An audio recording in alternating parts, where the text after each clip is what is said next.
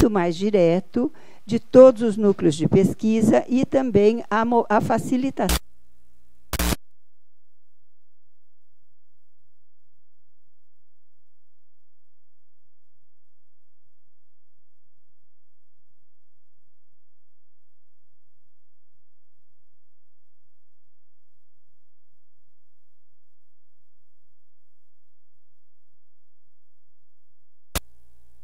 dela em algum momento da sua vida. Então, nós é, é, estamos muito felizes que esse, esse, convênio possa, esse termo aditivo possa ser assinado agora, porque beneficia né, todo o departamento, a graduação e pós, e nos põe muito mais próximos da Universidade de Coimbra e, da, e de outras universidades também portuguesas. Há vários núcleos aqui da PUC, da graduação e departamento e o pós-graduação, que tem outros convênios com outras universidades em Coimbra, né? Agora, é, com a Universidade de Coimbra propriamente dita, a gente, esse é o primeiro termo aditivo que é assinado em nível do departamento e não de um ou outro núcleo de pesquisa do departamento. Então, eu passo então o, o termo a ser assinado formalmente, né, a assinatura formal é feita nesse instante, né, através do, da assinatura do professor e depois a minha, isso pode assinar. assim. Então, primeiro sou eu.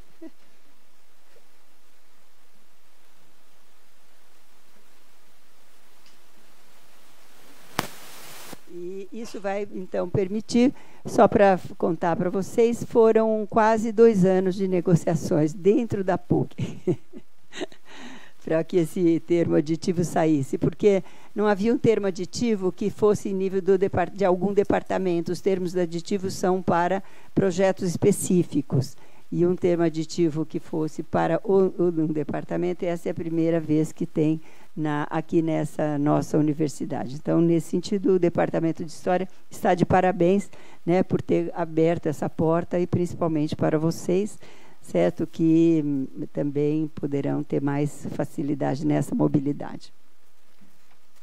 Eu passo a palavra agora ao coordenador da mesa, o professor Alberto, ah, desculpa, o professor Carlos, ou o professor Alberto, que vai, assim, cumprir as formalidades, que, como vocês viram, eu sou muito ruim de formalidades. Obrigada. Boa noite a todos.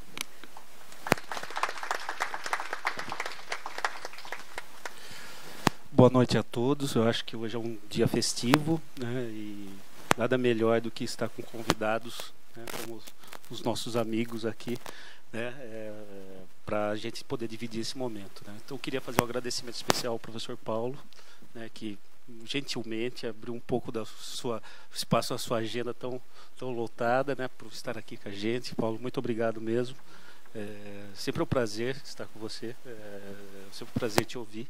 Né, então, para a gente é um orgulho muito grande tê-lo aqui na mesa. Muito obrigado. É, professor João, professor Fernando, né, nós já estamos, já estou ficando íntimo já, três dias aí já levando a conhecer o, o sertão paulista.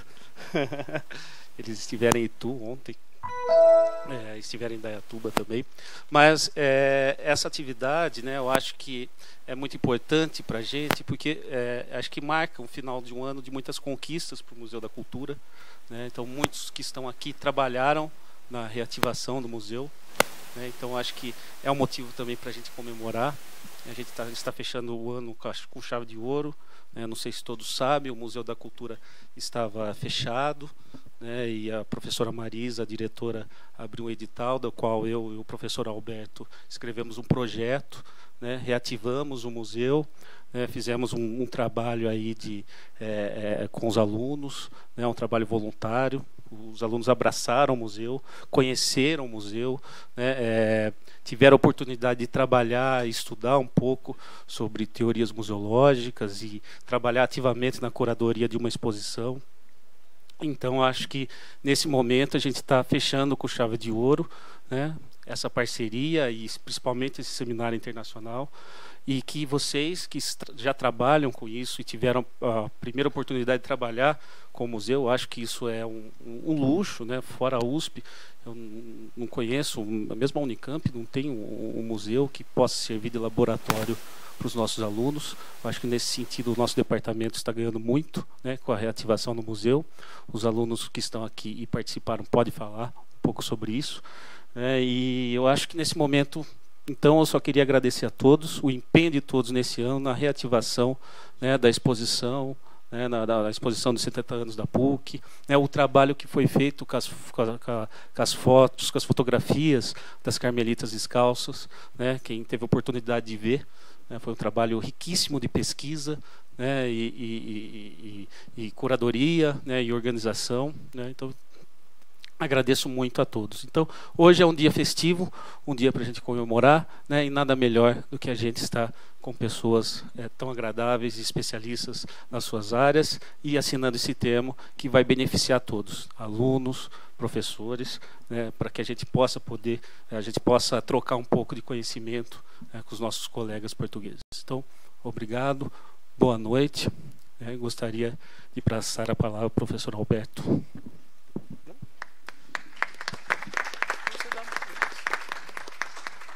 Bom, gente, boa noite. Eu não tenho muito a falar, eu só gostaria de explicar rapidamente a dinâmica da nossa mesa aqui, não é?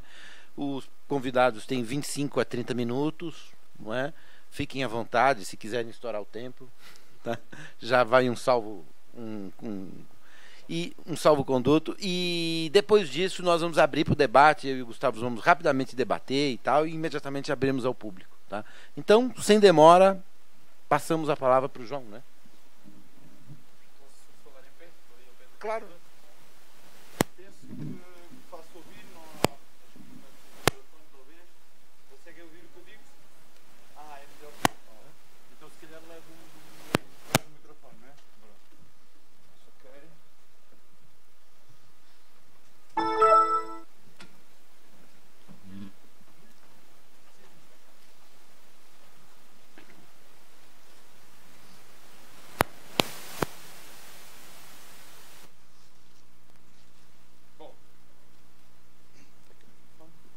mais,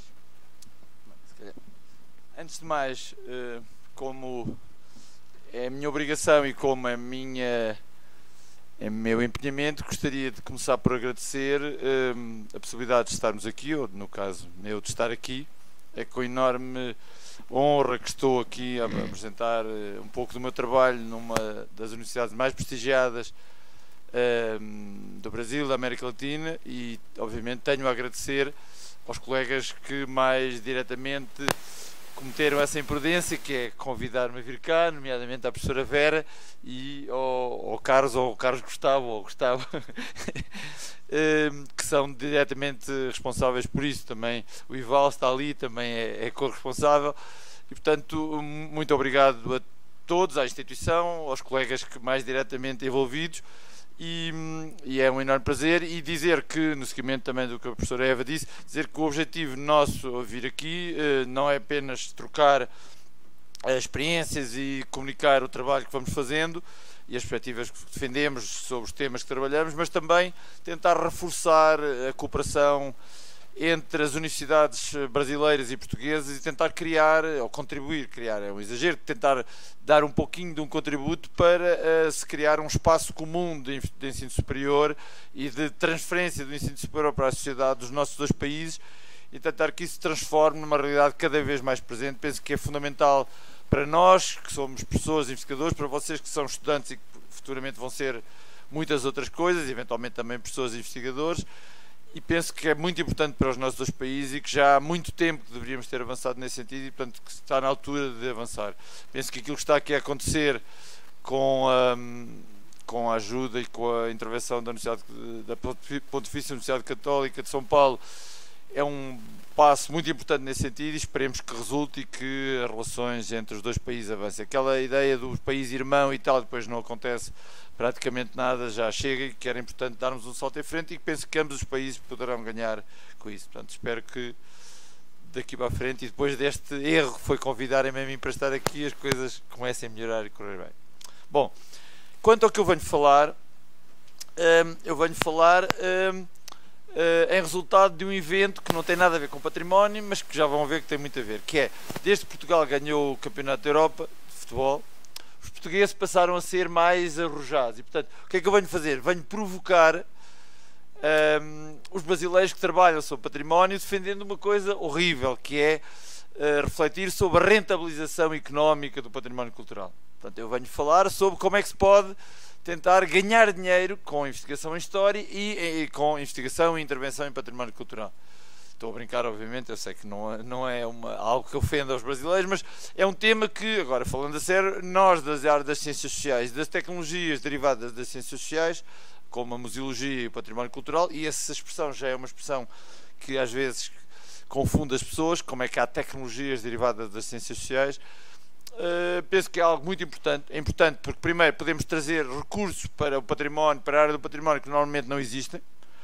Ela, se vier da economia, que é normalmente onde há dinheiro, onde há riqueza, isso pode ser útil. E, por outro lado, estamos a demonstrar a utilidade social do nosso conhecimento. E quando falamos em utilidade social do nosso conhecimento, estamos a falar em criar emprego para nós, no mais diretamente para vocês. Eu, felizmente, tenho um emprego, portanto, não estou tão aflito, mas criar emprego para vocês, quem está a entrar no mercado de trabalho, um, e por outro lado, tentar melhorar as nossas sociedades, uh, fazendo com que o nosso saber ajude a compreender melhor as sociedades e depois a transformá-las mais positivamente. Portanto, aparentemente é uma coisa estranha, mas não é assim tão estranho, porque se pensarmos, temos aqui um colega nosso, uh, as engenharias já fazem isso há muito tempo, a medicina já faz isso há muito tempo, o direito já faz isso há muito tempo, e portanto, uh, a farmácia já faz isso há muito tempo. É estranho que as ciências sociais que até lidam com uma realidade tão próxima de nós, que somos nós próprios, não, não tínhamos pensado há mais tempo que podemos ajudar a compreender a sociedade e a transformá-la positivamente. Resta saber o que é positivamente, mas pronto, mas isso é com todas as tecnologias. E penso que a área do património cultural da museologia é uma área onde isso pode acontecer particularmente. Okay. E então, uh, passando à apresentação propriamente dita. Uh, bom, então, a minha tese é que não só isso é possível fazer, ou seja, utilizar a historiografia como base para tecnologias, como também utilizar as tecnologias para transformar a sociedade e para isso vender eh, ideias, vender soluções, e não só é possível, como isso não implica uma traição às regras deontológicas e aos princípios deontológicos que, em princípio, devem basear a produção historiográfica e que, nomeadamente, baseiam a produção historiográfica que normalmente designamos como história nova, ou, no, para utilizar a expressão francesa, nouvelle histoire. É? Ou seja, não é preciso voltar a uma historiografia profundamente ideológica, profundamente marcada pelos interesses ou das elites ou das, ou das classes eh, não privilegiadas para produzir eh, conhecimento que pode ser utilizado pelas tecnologias e, e ser utilizado para transformar a realidade social. E a minha, meu, a minha, intervenção tem a ver com isso. Bom, então, em primeiro lugar, um, para percebermos isto, temos de perceber o que é a ciência, o que é tecnologia e o que é ideologia no meio disso tudo. Muito brevemente, todos temos opinião sobre essa questão. Eu diria que ciência é uma forma de conhecimento de cariz experimental que visa conhecer a realidade. Em teoria, para a ciência não há qualquer outro objetivo senão conhecer a realidade. E todos temos a noção de que muitas vezes a ciência tritura os preconceitos que nós tínhamos acerca da realidade. Okay? Um exemplo prático, que não tem a ver com ciências sociais. Uh, quando nós acordamos todos os dias, achamos que estamos parados, que a Terra está parada e que o Sol anda à volta da Terra. E se nós olharmos com atenção, vemos o Sol a movimentar-se. É? E sabemos que o Sol nasce aqui e se movimenta ali. Aparentemente, o Sol mexe e a Terra está parada.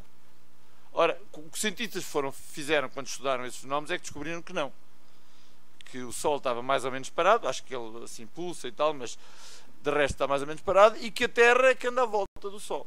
Ora, isto viola completamente os nossos preconceitos. A função da ciência é isso, é produzir conhecimento e muitas vezes o conhecimento científico atropela o senso comum. Ok? Por exemplo, durante muito tempo achou-se, e havia muitos cientistas que achavam, e fora dos cientistas havia muitas pessoas, que as mulheres eram inferiores aos homens. Como sabem, por exemplo, durante grande parte do século XIX, é? uh, supostamente houve cidadãos e depois havia cidadãos passivos e ativos. É? Uma da parte que imediatamente era definida como cidadãos passivos eram as mulheres, porque sendo inferiores aos homens não podiam ser autónomas. Hoje descobriu-se descobriu-se há muito tempo, que cientificamente não há qualquer diferença substancial em termos de capacidade intelectual, portanto que é completamente absurdo isso acontecer, e se acontecer não é porque tenha nada a ver com a realidade, mas porque alguém decide inventar outra realidade. Portanto, eu diria que essa é a definição simples de ciência, E que a ciência tem esse problema, é que muitas vezes põe muitas coisas em causa. Por isso é que há muitos problemas de relação entre outras formas de pensar e o, e o conhecimento científico. Ideologia, em princípio, então, seria o contrário de ciência. Ideologia é nós tentarmos convencer as pessoas de uma determinada leitura da realidade, independentemente dessa leitura ser mais próxima ou mais distante da realidade. Portanto, quando alguém tenta dizer as mulheres não podem votar porque são inferiores, e depois desenvolve todo um conjunto de argumentos, e etc, etc, não está a produzir conhecimento sobre a realidade, está a tentar convencer as pessoas de que a realidade é aquela não tem nenhuma preocupação se aquilo que está a dizer é próximo da realidade, quer apenas convencer as pessoas daquela leitura da realidade. Portanto, em teoria, nós tínhamos aqui dois mundos separados, ciência e ideologia. Sabemos hoje, pensando sobre isso, que, que não é bem assim. Por duas razões. Primeiro, porque um cientista sem ideologia é como um telemóvel, ou um celular, como vocês dizem, sem bateria e sem software. Ou seja, não serve para nada. Bom, serve, ou seja, se vocês, por exemplo, tiverem uma coisa quente e não quiserem pôr em cima de uma mesa, põe um telemóvel por baixo, põe a coisa quente por cima e não queima a madeira. Mas não serve para telefonar. Ora, um cientista sem ideologia é como um telemóvel, sem software e sem uh, carga elétrica. Portanto, o problema então já não está para produzir ciência em separarmos da ideologia, é como misturar uh, os nossos valores, os nossos preconceitos com o esforço de produzir conhecimento acerca da realidade, de maneira que a ideologia potencie a ciência e não a, a, a obstaculize. Torna a coisa mais complicada. Porque temos a certeza que tem de haver combinação, tem de haver mistura, não sabemos é qual. Ok? Bom, se quisermos complicar ainda, então temos a tecnologia. E o que é a tecnologia? A tecnologia é um instrumento de transformação da realidade. Ora, na tecnologia, a relação entre ciência e ideologia ainda é mais complicada, porque quando nós queremos transformar a realidade, não há nenhuma ciência que nos diga em que direção é que devemos transformar a realidade. Porque a realidade é o que ela é. Portanto, se nós não gostamos dela, não é a ciência que nos vai dizer como é que ela deve ser. Dever ser não é ciência, é valoração. É, nós não gostamos assim, queremos que passe a ser assado. Fazer assado não é a ciência que mostra. A ciência permite perceber o que é que é assim não permite perceber que deveria ser assado. Portanto, o que é uh, o mudar a realidade é a nossa ideologia, nós, ela está assim, não gostamos dela, queremos mudá-la, transformá-la noutro sentido. O, a, a, definição de como é que queremos transformar a realidade é, vem da ideologia. Então, porquê é que nós dizemos que há tecnologias de base científica? É porque o que é que a ciência nos permite fazer? Primeiro, permite-nos conhecer como é que a realidade é, e qual é a probabilidade de determinadas ações transformarem a realidade no sentido que nós queremos transformar. A ciência na tecnologia só tem essa função. O mais importante na tecnologia não é isso, é como é que nós, para, em que sentido é que queremos transformar a realidade. Ok? Ora, o que é que eu acho? É que o património cultural e os museus são isso, são instrumentos de transformação da realidade. Por exemplo, eu ontem visitei um museu onde a elite paulista procurou demonstrar que não só o Brasil tinha sido inventado pela elite paulista, como a elite paulista tinha construído o regime republicano e ponto final estava a história contada. Portanto, quem deve mandar no Brasil? Obviamente a elite paulista. Se inventou o Brasil, não é? Com as bandeiras e fiquei ontem a saber com as monções. Não é? Eu não sabia das monções, só sabia das bandeiras. E para além do mais, quando foi transformar o regime monárquico num regime mais complexo, mais sofisticado, mais abrangente, que era a República, que até se pode comparar com a República Romana, etc, etc, então foi a elite paulista que novamente fez esse, esse upgrade da realidade. Ora, o que é que é este museu? É uma tecnologia que visa o quê? Incrustar uma determinada visão da história do Brasil e da, da, do direito a governar o Brasil em favor da elite paulista. É uma tecnologia visa transformar a maneira como os brasileiros pensam noutra maneira, na qual a elite paulista tem um, um, um papel, uma preponderância muito maior. Isto é uma tecnologia. Mexe com a cabeça das pessoas, mas é uma tecnologia na mesma. Não constrói pontes, não constrói edifícios, mas é uma tecnologia. Ok? Portanto, se isto é assim, é tão legítimo, é tão fundamental um, utilizar esta tecnologia para transformar a realidade e, portanto, pô-la ao serviço da, da e discutir os resultados da aplicação desta tecnologia, como fazemos em relação à medicina, em relação às engenharias, etc. Quando nós dizemos que, sei lá, produzir bens industriais libertando gases poluentes. É fundamental porque queremos esse bens industrial, mas por outro lado a poluição é negativa e temos de discutir isso. Ou fazer manipulação genética. Pode ser positivo, mas tem efeito. Isso é discutir como se aplica uma tecnologia. Isso tem aspectos positivos, isso tem aspectos negativos, isso viola regras deontológicas. Ora, aquilo que eu proponho que se faça relativamente a como é que se, como é que se faz historiografia, como é que se utiliza a historiografia para estruturar políticas de património cultural e de museus. E depois, quais as consequências disso? É exatamente o mesmo que se faz com as engenharias, com as medicinas, com...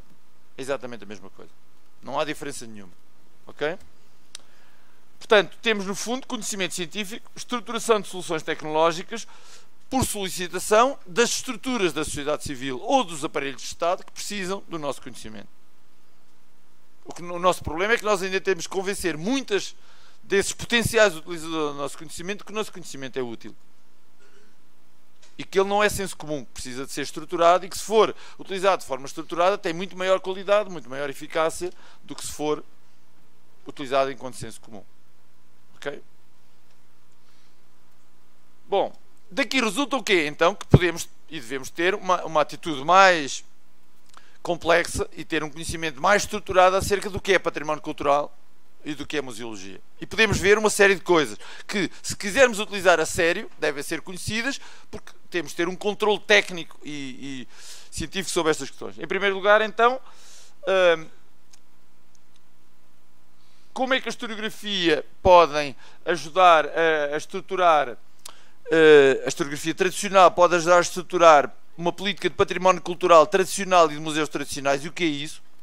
E podemos dizer, uh, por exemplo, que museus tradicionais e, património cultural tradicional significam que só as elites são representadas, que só a cultura erudita de cariz uh, religioso ou não religioso é que é considerada, que os outros grupos sociais e as outras formas culturais só são representadas enquanto inferiores, enquanto primitivas, enquanto uh, fatores ou artefactos de legitimação do domínio dos superiores, dos civilizados, relativamente aos inferiores ou aos primitivos.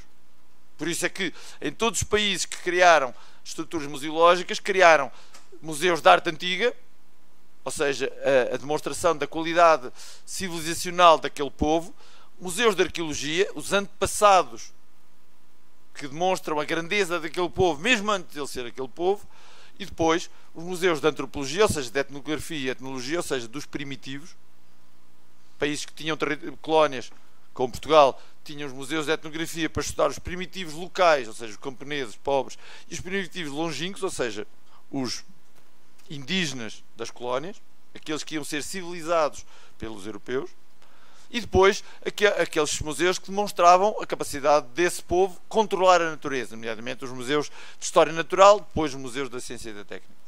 E para a, noção tradicional de história, de património e de museus, só havia isto. Ok?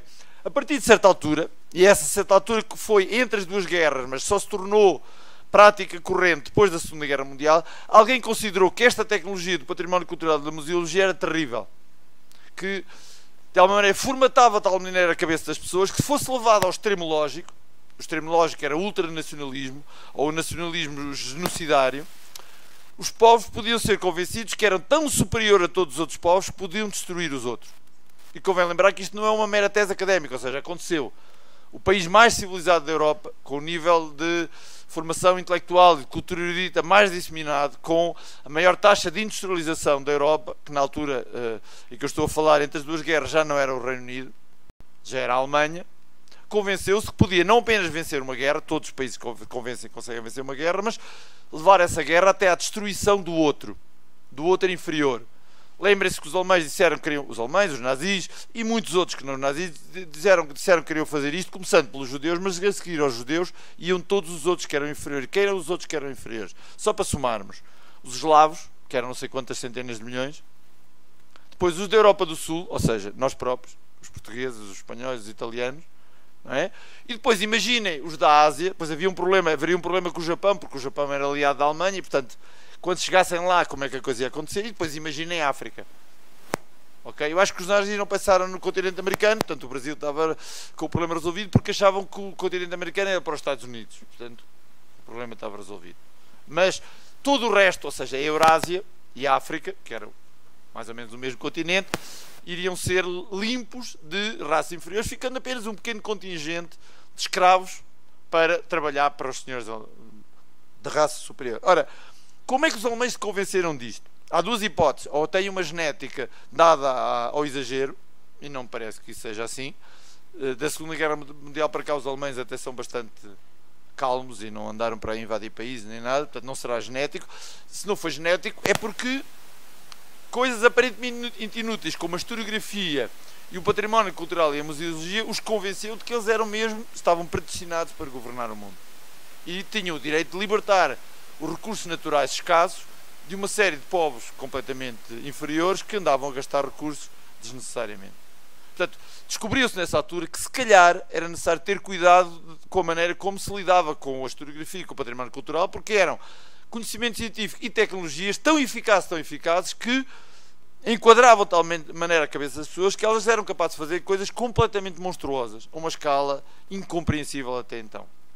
E portanto, de lá para cá, se vocês repararem, surgiu a chamada nova museologia, que procurou desmontar esta máquina e remontá-la com outra, de outra maneira. Uma maneira que procurasse mostrar que todos os povos têm um contributo a dar e deram um contributo, que em todos os povos há, e que todas as culturas há características positivas e negativas, que não há culturas superiores e inferiores, que há cultura erudita, culturas populares, cultura de massas e que nenhuma é necessariamente superior ou inferior, que a noção de cultos e incultos é completamente absurda e normalmente não quer dizer nada, não é? E, e, que até se utilizaram alguns dos ícones da cultura europeia para desmontar isto. Por exemplo, sei lá, aquela ideia, a, a, a Ilíada e a Odisseia, que são dos grandes paradigmas da, da literatura ocidental, foram, foram inventadas por analfabetos. Começaram como literatura oral. Só muitos séculos depois é que alguém os passou por escrito. E não foi de certeza um senhor cego chamado Homero, que não existiu. Foi alguém, muitos alguém provavelmente, que a certa altura, transcreveram uma literatura oral para uma literatura escrita. Portanto, a Ilíada e a Odisseia foram inventadas por analfabetos. Ora, quem já leu a Ilíada e a Odisseia, nomeadamente na versão integral, verá que está lá muitos milhares de palavras e que significa que provavelmente os analfabetos não são absolutamente nada incultos, têm formas culturais e formas de transmissão cultural diferentes. E, portanto, o património cultural da museologia procurou absorver todas essas coisas. Ok? Então temos o novo património cultural e a nova museologia e, se quisermos, o paradigma neomoderno. Entretanto, também, eu acho que um pouco fora de tempo, alguém decidiu inventar a ideia de que todas as formas culturais até então eram profundamente alienantes e, apenas um instrumento de dominação. E arrasar com tudo isso e reconstruir a partir de um novo paradigma chamado paradigma pós-moderno. Curiosamente, nas áreas de, de, das ciências sociais e da património cultural da museologia, portanto das tecnologias derivadas, quando o pós-moderno chegou, o principal adversário não foi um, um, o património cultural da museologia tradicionais, mas o novo património cultural da nova museologia. E portanto, uh, em parte, uh, o património cultural pós-moderno e a museologia pós-moderna regressam, muitas vezes, ao arquétipo da, da museologia tradicional, do património tradicional, embora provavelmente não tenham consciência disso. Portanto, isto é só para dizer que temos aqui várias maneiras de encarar o património cultural e a museologia enquanto tecnologias com consequências completamente diferentes para as sociedades. E, portanto, se nós queremos utilizar esta tecnologia, tal como se queremos ser engenheiros ou médicos, convém sabermos o instrumento que temos nas mãos, as consequências da sua utilização desta maneira, daquela maneira, de outra, para daí resultar. Não é? Para além do mais, podemos também saber que cada uma destas concepções tem implicações deontológicas mexem com a vida das pessoas e, portanto, devemos ter uma forte vigilância deontológica e discutir acerrimamente as implicações e as consequências daquilo que vamos fazer. Se é uma tecnologia, se deve ser levada a sério, deve ser fortemente vigiada, porque as tecnologias normalmente produzem ou aspectos muito positivos, ou estragos significativos, ou as duas coisas ao mesmo tempo. Hum, peço desculpa. Outra área muito importante é a cultura organizacional. Muito rapidamente, o que é cultura organizacional? Hum, é uma coisa que existe por todo lado. Ou seja, todas as organizações segregam uma imagem de si próprias. Para quem está ligado a elas ou para quem tem uma relação a partir do exterior com elas. A questão é saber se queremos governar esse fenómeno ou deixá-lo existir de maneira completamente descontrolada. Se o governarmos é uma tecnologia. Normalmente, em países como o Brasil e Portugal, o que é que é a cultura organizacional? São os senhores de gestão ou de psicologia organizacional que tentam convencer as pessoas de que aquilo é espetacular, mesmo não sendo. Ok? E que normalmente utilizam para isso recursos derivados da publicidade e do marketing. em Portugal, quando uma grande empresa quer lançar uma, uma campanha de cultura organizacional, contrata uma empresa publicitária e muda o logótipo e a imagem da empresa. Era azul, passa a ser vermelha, era vermelha, passa a ser amarela e, e a, muda, a cultura organizacional muda.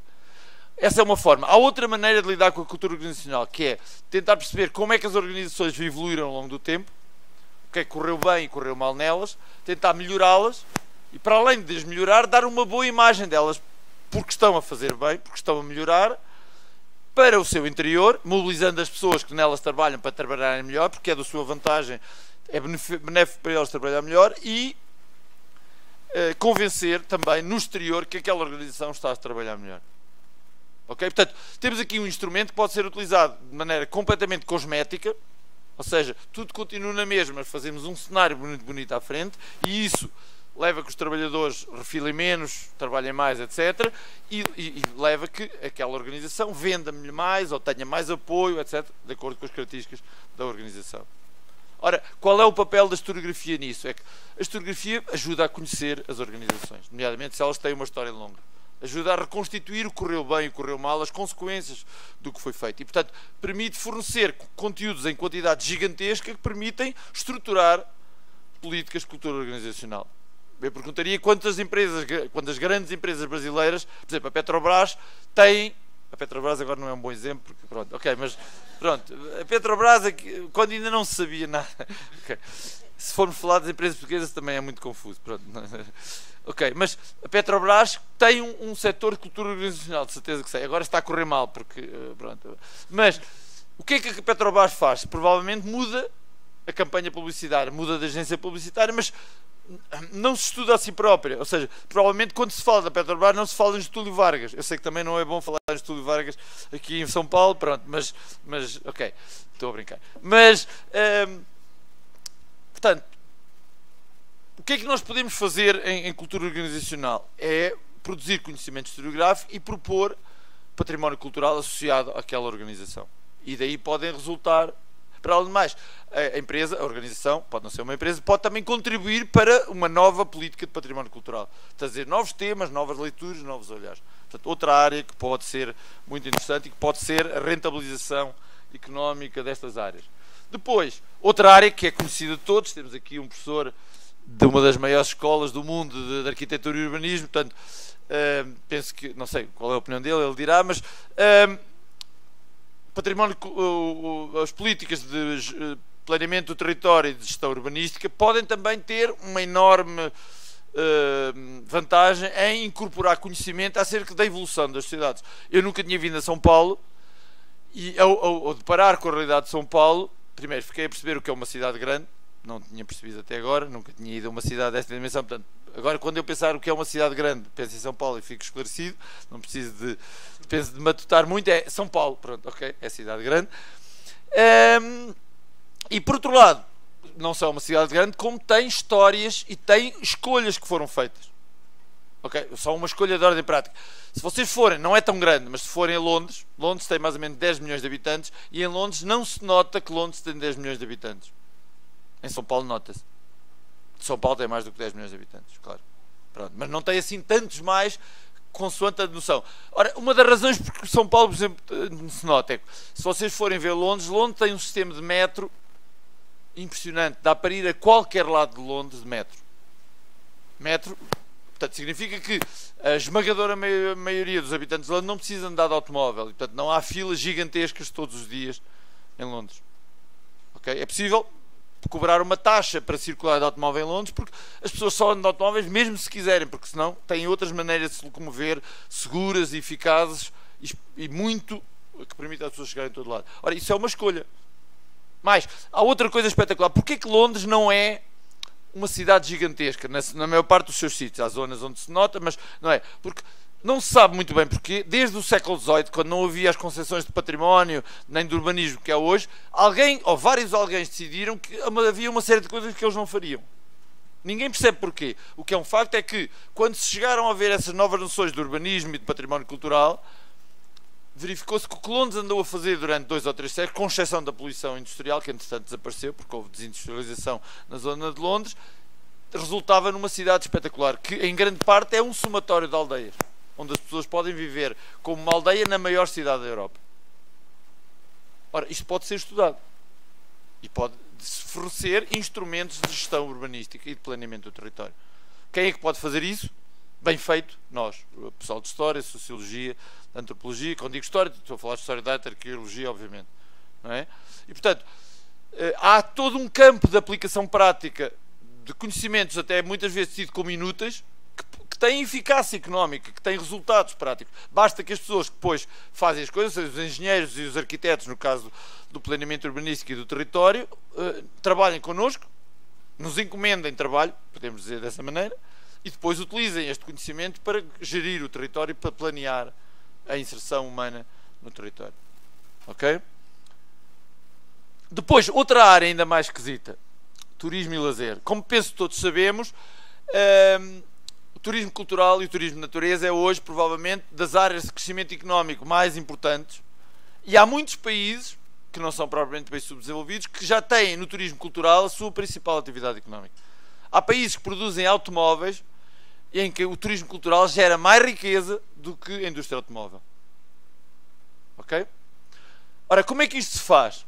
em primeiro lugar, não destruindo o património cultural existente e, e, e, criando conteúdos acerca desse património e, por outro lado, depois organizando roteiros de observação para os diferentes públicos.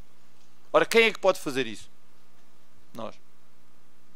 Ou seja, hum, é uma, algo que os historiadores, os historiadores da arte os arqueólogos sabem fazer, e os antropólogos e os sociólogos eh, sabem fazer muito bem. Okay? Os arquitetos, quando fazem de historiadores, também sabem fazer, mas os arquitetos acho que são melhores a desenhar e, portanto, é importante que se desenhe, que se pense muito bem as coisas e, portanto, nós que não sabemos fazer isso, talvez possamos fazer a parte da investigação. E, portanto, vejam a riqueza. Eu não sei se vocês têm ideia, mas para um europeu de classe média, com formação eh, mais ou menos razoável, o Brasil não é um país uh, pobre, é um uma, uma surpresa gigantesca e esmagadora. Se, você, se o Brasil se organizasse para uh, preservar e para divulgar o seu património cultural, o seu património natural, teria dezenas de milhões de turistas por ano. Seria provavelmente a maior oferta, uh, ou melhor, uh, mercado de turismo, mercado no sentido de acolher turistas do mundo.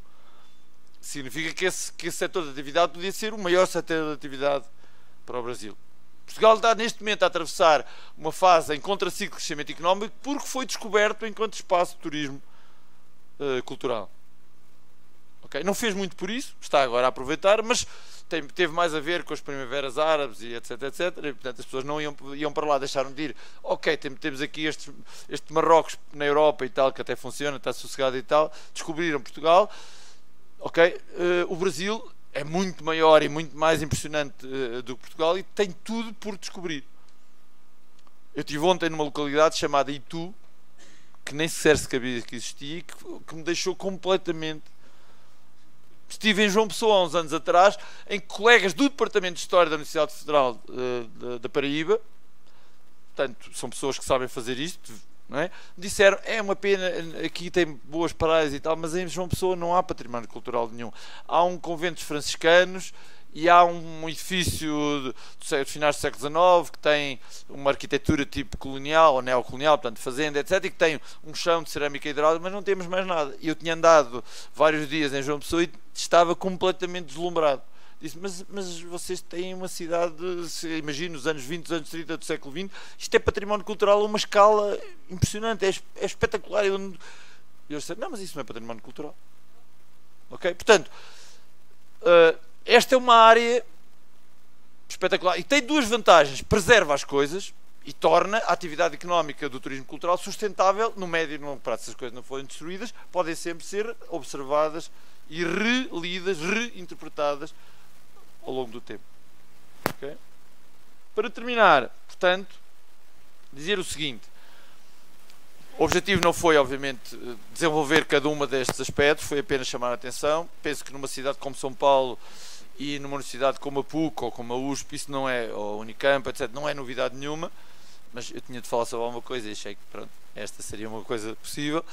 E, portanto, a minha ideia é, eh, eu penso que os historiadores não traem a sua função como cientistas sociais se, se trabalharem para o mercado, se procurarem, entre aspas, vender o seu conhecimento, não venderem-se a si próprios, defendendo ideias só porque alguém paga o nosso trabalho, mas investigarem e procurarem que o conhecimento que nós produzimos eh, sustenta, alimenta, fundamenta tecnologias que depois vão ajudar a transformar no bom sentido, no sentido positivo, e o que é o sentido positivo já é ideologia, depois cada um eh, definirá o que é positivo para si, uh, essa sociedade. E penso que estas quatro ou cinco tecnologias que aqui referi serão um bom exemplo. Eu já agora acrescentaria uma outra que ajuda a sustentar tudo isto, que é a didática da história, ou seja, uma didática específica que é como ensinar a história para que as pessoas entendam estas coisas e sejam capazes de usufruir e de perceber a importância destas coisas. Era isto. Obrigado.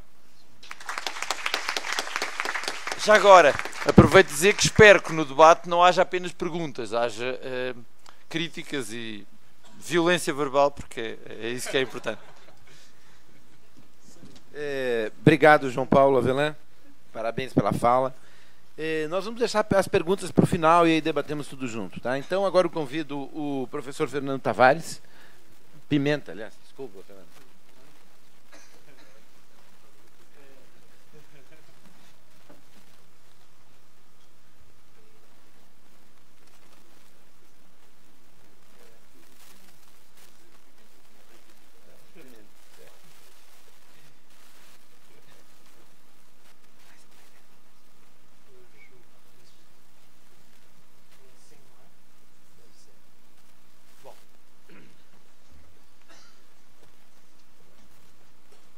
Muito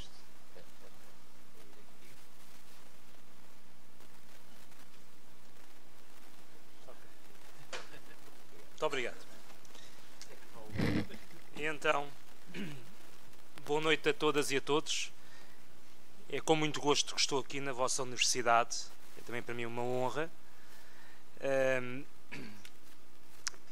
Eu sou historiador do colonialismo português em África em particular em Angola e Moçambique, e como tal, eu venho aqui apresentar um caso de estudo, tendo em conta também que eu interesso-me pelas implicações políticas uh, do património, como o património é um instrumento de produção de identidade nacional.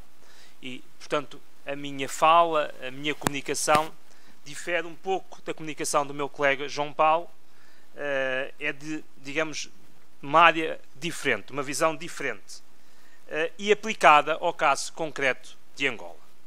Eu espero que possa ser uh, produtivo também para vós. Não sei se alguém se dedica à África, mas em todo o caso, talvez seja de interesse também, uma vez que Angola, em particular, é a mãe negra do Brasil ou pelo menos assim gosta de, de se apresentar, e portanto parece-me ser um caso interessante para vos apresentar. Muito bem. Portanto, eh, na minha fala eu colocarei em perspectiva eh, as políticas de classificação do património histórico-cultural em Angola, as políticas atuais. Eh, terei em especial consideração a forma como o governo de Angola, o governo do Movimento Popular da Libertação de Angola, o MPLA, uh, tem utilizado o legado colonial e o património de origem colonial no processo de construção de uma identidade nacional angolana unificada, incorporando a memória material desse passado colonial no amo âmago da nação. Eh, mas antes de mais, eu apresentarei alguns dados gerais sobre Angola para depois falar sobre a questão do património. Ora, este é o mapa político de Angola. Angola, portanto, é um país da África Ocidental, na transição da, da África Central para, para a África Austral.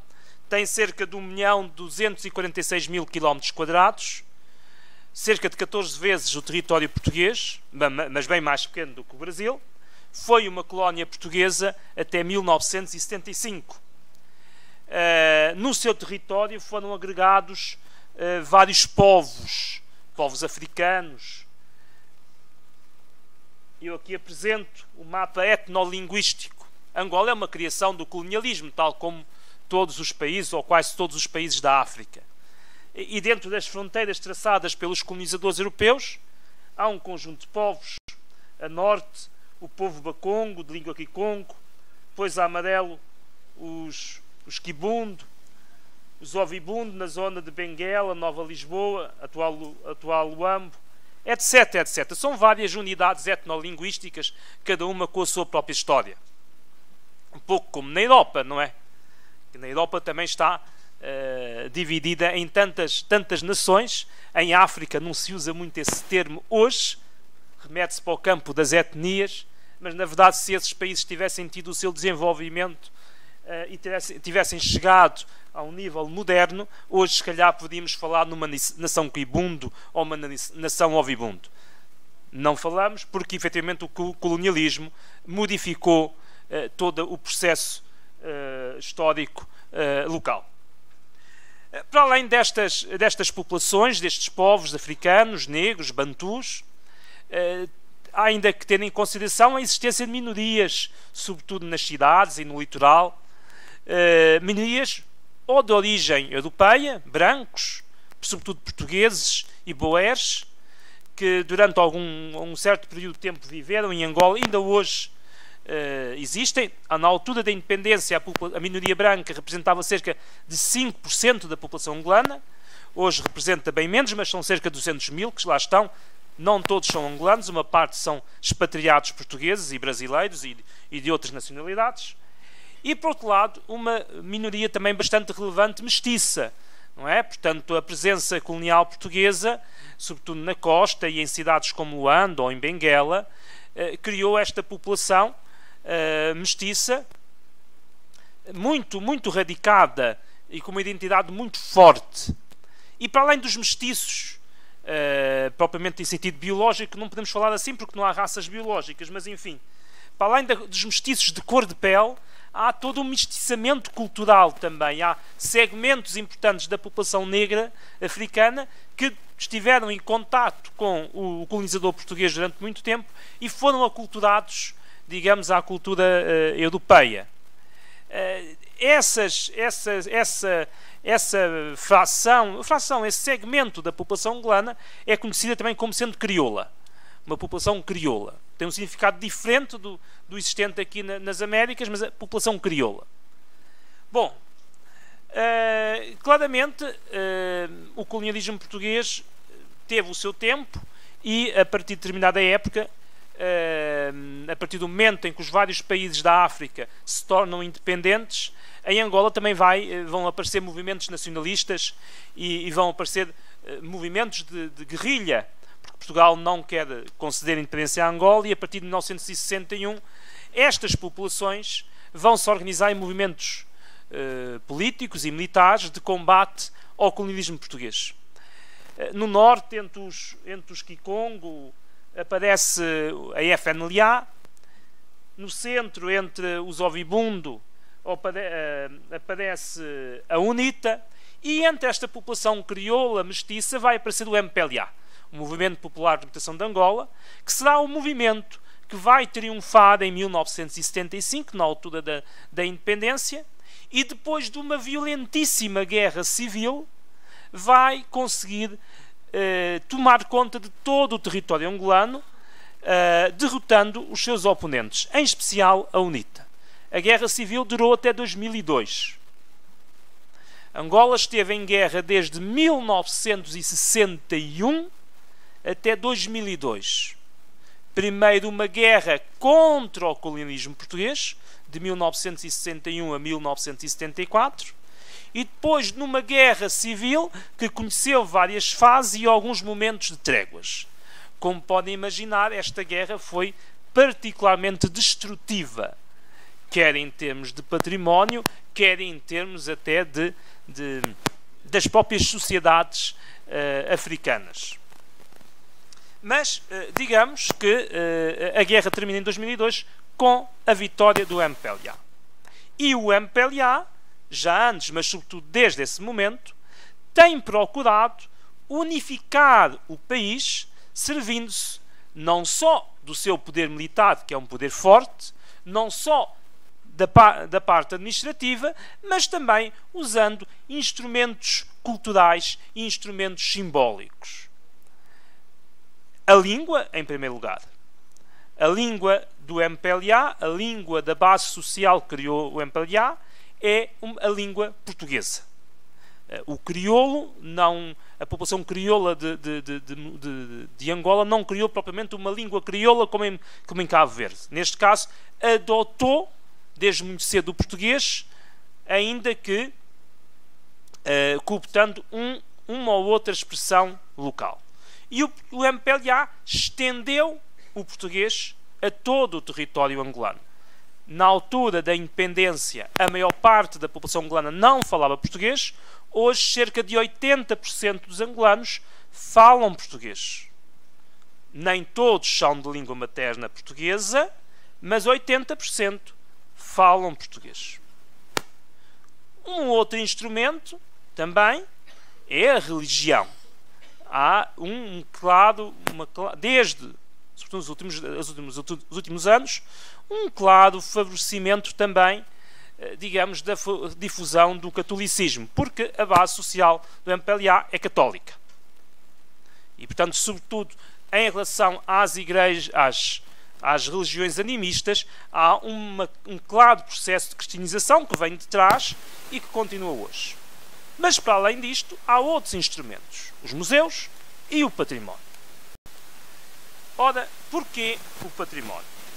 No fundo, o MPLA procura dar à população de Angola uma ideia de unidade. É?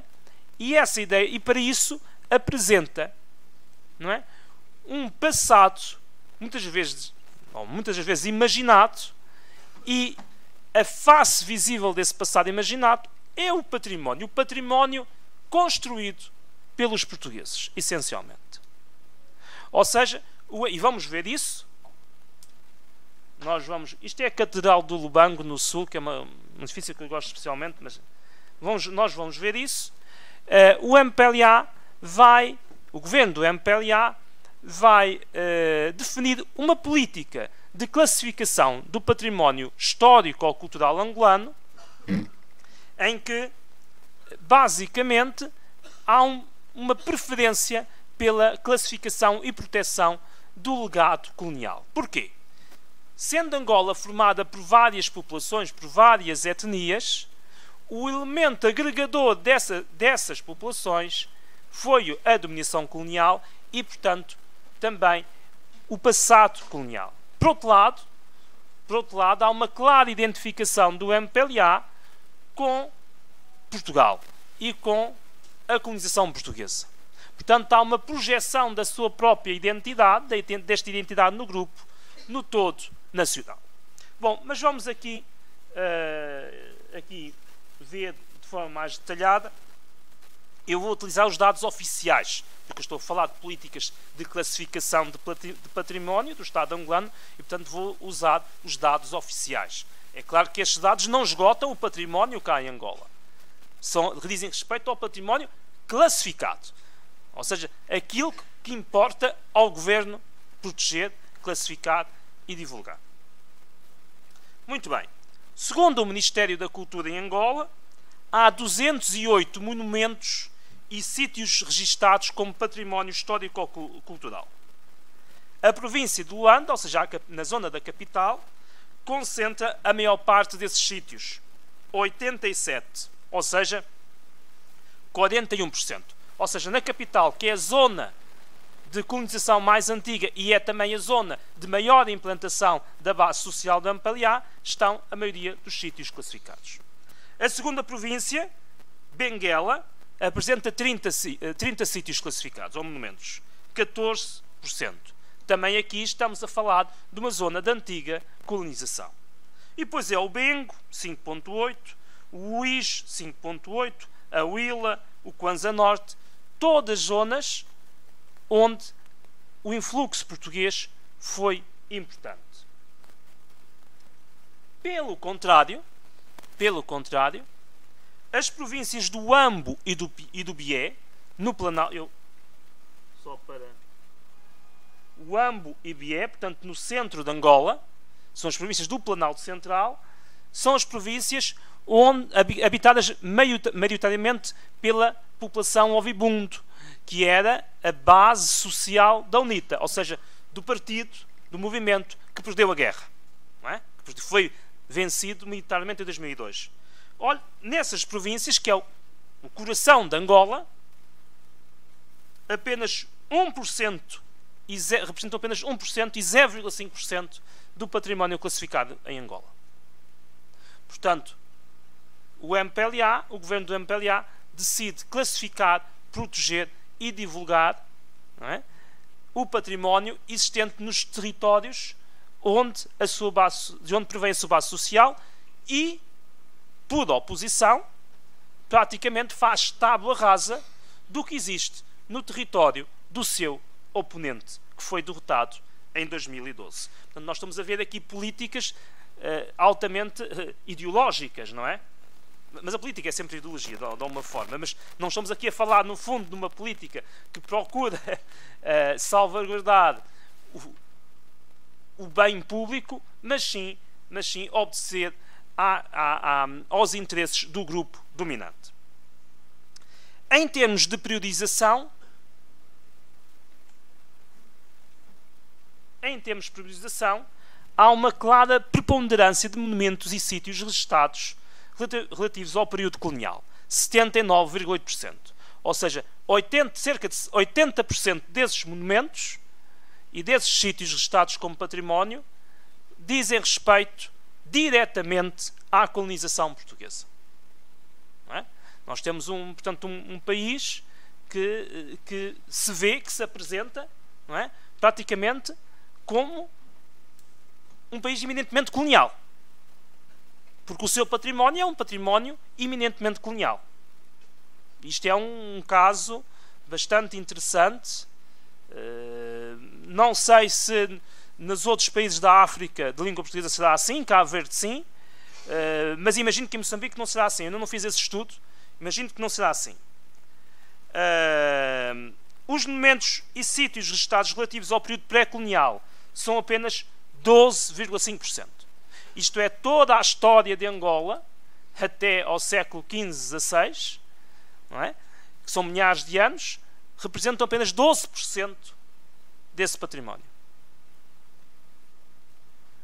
Os monumentos e sítios registados relativos ao período pós-colonial são apenas 2. Há 2, 1%.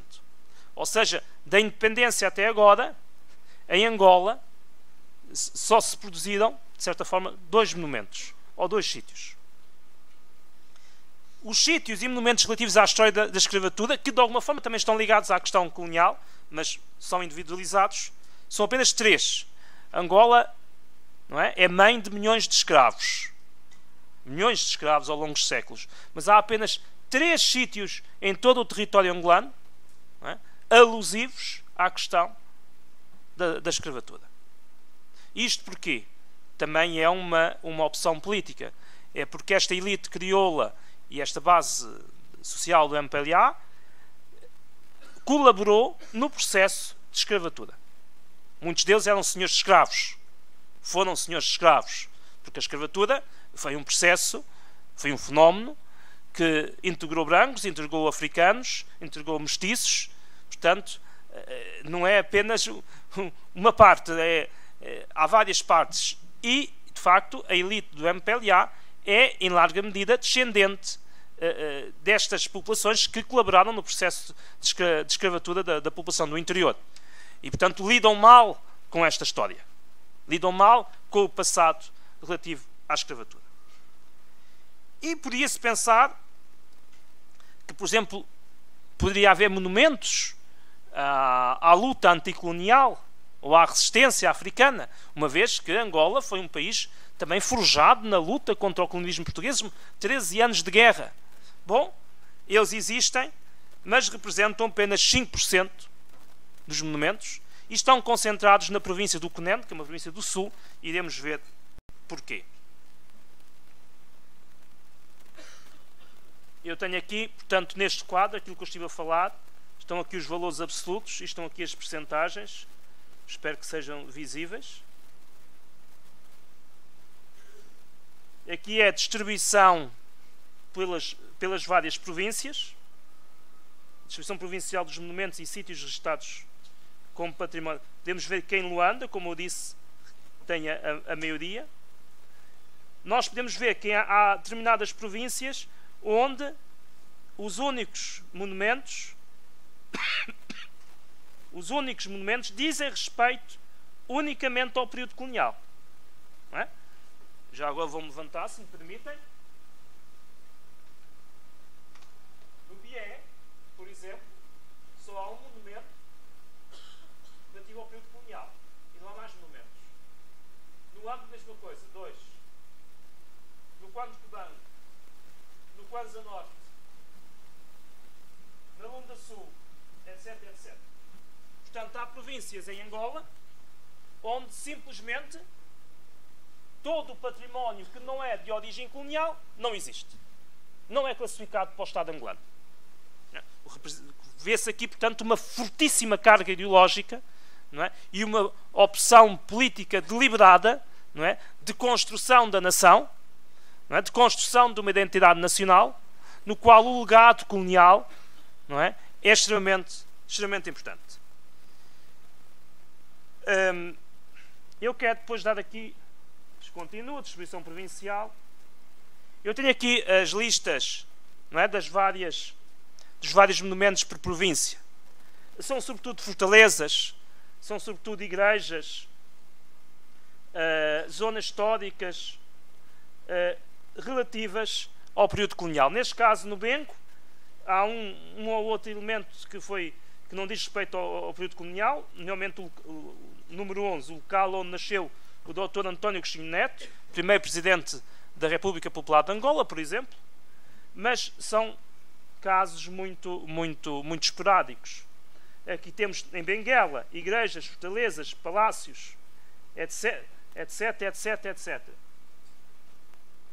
Este é, o, é o, uma, uma imagem antiga do Palácio da Associação Comercial de Benguela, que é hoje um dos principais monumentos da, da cidade a igreja de Nossa Senhora do Popolo, como podem ver, até a, a, a, arquitetura, que é uma arquitetura portuguesa colonial, não diverge muito de algumas igrejas do mesmo período deste lado do, do Atlântico.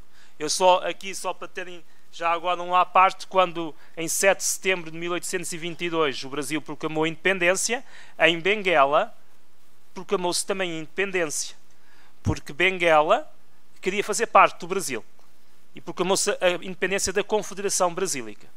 Isto porquê? Porque o centro económico e político do Atlântico Sul era aqui, deste lado do Atlântico. Portugal era demasiado longe e demasiado fraco.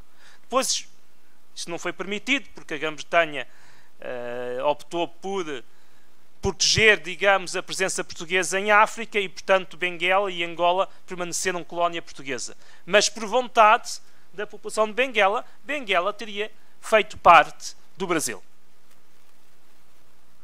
Na província do Bié, portanto, uma, uma, uma das províncias mais populosas de Angola, no Planalto Central, etnia Ovibunda, terra de Jonas Chabimbi, uh, líder da UNITA. O único sítio classificado é o edifício da antiga estação telegráfica e postal. Não há mais património para o governo do MPLA ali. Em Cabinda,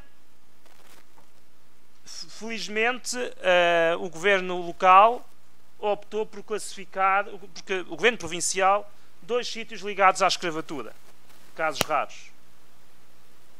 O Cunene representa um caso muito interessante, porque o Cunene é uma província do sul de Angola, na fronteira com Namíbia, e é uma província povoada por pastores. Os Coanhama, os Ovambo, Portanto, uma população de pastores muito pequena e que nunca representou um, um problema para o governo do MPLA, nunca representou uma ameaça. E então uh, o governo do MPLA decidiu, de alguma forma, enfatizar a resistência africana ao colonialismo aqui. Porque a resistência desta população ao colonialismo não representa. E ao enfatizar o papel desta população não é, na luta contra o colonialismo, não colocava em causa é, a sua própria hegemonia. Esta população é demasiado pequena não é, e demasiado longínqua de Luanda e, portanto, a maior parte dos monumentos e sítios classificados relativos à luta anticolonial e à resistência africana ao colonialismo estão nesta província. Nesta província. É o túmulo do rei Mandum, é a Umbala. Eh, as Umbalas, portanto, são construções, edificações tradicionais uh, destas populações. Eu acho que tinha aqui uma imagem. Este é o memorial do rei Mandum. Este memorial foi feito uh, onde ele vivia. Onde o, o rei Mandum foi, portanto, um, um rei pastor, um chefe um chefe tribal que lutou contra o colonialismo português e, e perdeu, como é óbvio, não é? Uh, mas acaba por se criar um mito, digamos, de resistência. No AMBO, a Fortaleza General Cabral Moncada e a Praça António Agostinho Neto, que tem esse nome, mas era uma antiga praça portuguesa. E o que compreendo são vários edifícios construídos pelos portugueses. Portanto, no AMBO, que era uma das principais cidades de Angola e também um dos centros da etnia Bubundo, ou Vibundo, só há presença portuguesa. A Willa representa um caso muito interessante, porque na Willa é um dos casos onde a colonização portuguesa foi mais marcante. Aqui também há uma clara, um claro privilégio daquilo que os portugueses deixaram. Igrejas, edifícios de governo, os próprios barracões dos primeiros colonos, o cemitério Boé dos Boés, portanto, são os brancos sul-africanos que chegaram ali. E isto. O Cristo, Cristo Rei de Lubanco, uma estátua construída pelos portugueses e que estabelecia uma triangulação entre Lisboa, o Rio de Janeiro e Lubanco. Não é? Uma ideia de uma continuidade lusíada e católica entre os três países. Há um esforço muito grande por parte do Estado angolano para classificar para fazer parte da lista de património cultural mundial. Esta é a Catedral do Lubanco, antiga Sá da Bandeira. Esta é a zona Nossa Senhora do Monte, no Lubango. Lubango é considerada a cidade mais portuguesa de Angola. E, enfim, temos aqui várias, eh, várias províncias. Este é o Forte Mansangano, um local histórico, tal como os holandeses invadiram o nordeste do Brasil, também invadiram Angola no século XVII. E esses crioulos, esses mestiços e esses crioulos de Angola uh, retiraram de Luanda e foram para Mansangano defender a presença portuguesa. E resistiram a, aos holandeses até que uma expedição vinda do Brasil libertou Luanda não é, dos holandeses. E este é um local muito, muito importante, muito simbólico, quer para a colonização portuguesa, quer para a história desse, dessa, dessa, dessa, uh, desse segmento crioulo que está, constitui a base social do MPLA. Eu, não, não, vale a pena, isto é província de Luanda, são, são múltiplos, quase tudo diz respeito ao período colonial. Casas típicas, chalé, fortalezas. Esta é uma vista de Luanda de agora, de agora atenção, não é, não, é, não é Luanda colonial, mas Percebe-se aqui um dos edifícios também mais importantes, que é o edifício do antigo Banco, do antigo, não, do Banco de Angola, um grande edifício colonial e um dos centros do poder, do poder financeiro. Aqui está o Banco de Angola. E há, por fim, eu, dizia que no período pós-colonial há, há ali dois monumentos que, que diz, dizem respeito ao período pós-colonial. Um deles era, portanto, a casa do, do Dr. Agostinho Neto. Uh, que não, esse é da resistência africana, perdão. Uh, um deles é este, o memorial do Dr. António Agostinho Neto, primeiro presidente da República Popular de Angola. Como podem ver, este tipo de arquitetura não tem nada a ver nem com Portugal, nem com África, isto foi feito pelos soviéticos. Houve uma opção inicial a seguir a independência pró-soviética eh, e o Dr. Agostinho Neto faleceu muito cedo, poucos anos depois da independência, e então os soviéticos vieram e fizeram este memorial. É? Uh, aqui está um pouco da história. Tem 18 hectares, levou muitos anos a ser construído, só foi concluído efetivamente em 2012. Uh, mas digamos que não é, ao fim e ao cabo, muito estimado, porque oficialmente não é monumento. É um memorial, mas oficialmente não é um monumento uh, em Angola. Em todo o caso, representa talvez a edificação mais emblemática do período pós-colonial ou de, um certo, de uma certa fase do período pós-colonial. Aqui está o arreado da bandeira do Dr. Agostinho Neto.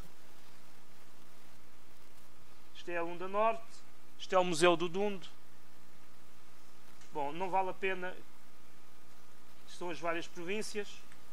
Uh, no fundo, o que é que nós queremos demonstrar com isto? Bom, por um lado, as políticas de classificação de património não são virgens, não é? As políticas de classificação de património obedecem aos interesses do Estado e obedecem às ideologias. Isto é particularmente significativo e marcante em Angola. Uh, em Angola, efetivamente, o património, uh, mais do que ser um motor de alavancagem da economia, que pode ser explorado em termos turísticos e não só, é um instrumento político. É um instrumento de construção nacional, de construção de uma identidade, identidade nacional. Porquê? O MPLA oferece à sua população uma ideia da sua história, uma ideia da sua identidade. O que é identidade nacional para um jovem angolano? Ela é a identidade que, que perpassa no museu, na igreja, no forte, no edifício colonial que é salvaguardado. A história, não é? Para o jovem angolano é aquela. Não é a história das velhas aldeias uh, africanas do interior. É aquela. Portanto, um, penso que isto é, e o caso angolano é particularmente relevante para uh, percebermos como o património pode ser instrumentalizado, não é? Uh, nas mais diversas formas. Eu queria dar este input político aqui, uh, porque me parecia, parece-me ser um, um, um, algo bastante interessante e uma forma muito pertinente de ver, de ver a questão patrimonial. Uh, e, portanto, agora, no final, estarei também à vossa disposição para eventuais questões e diálogo e uma reflexão sobre isto. Muito obrigado.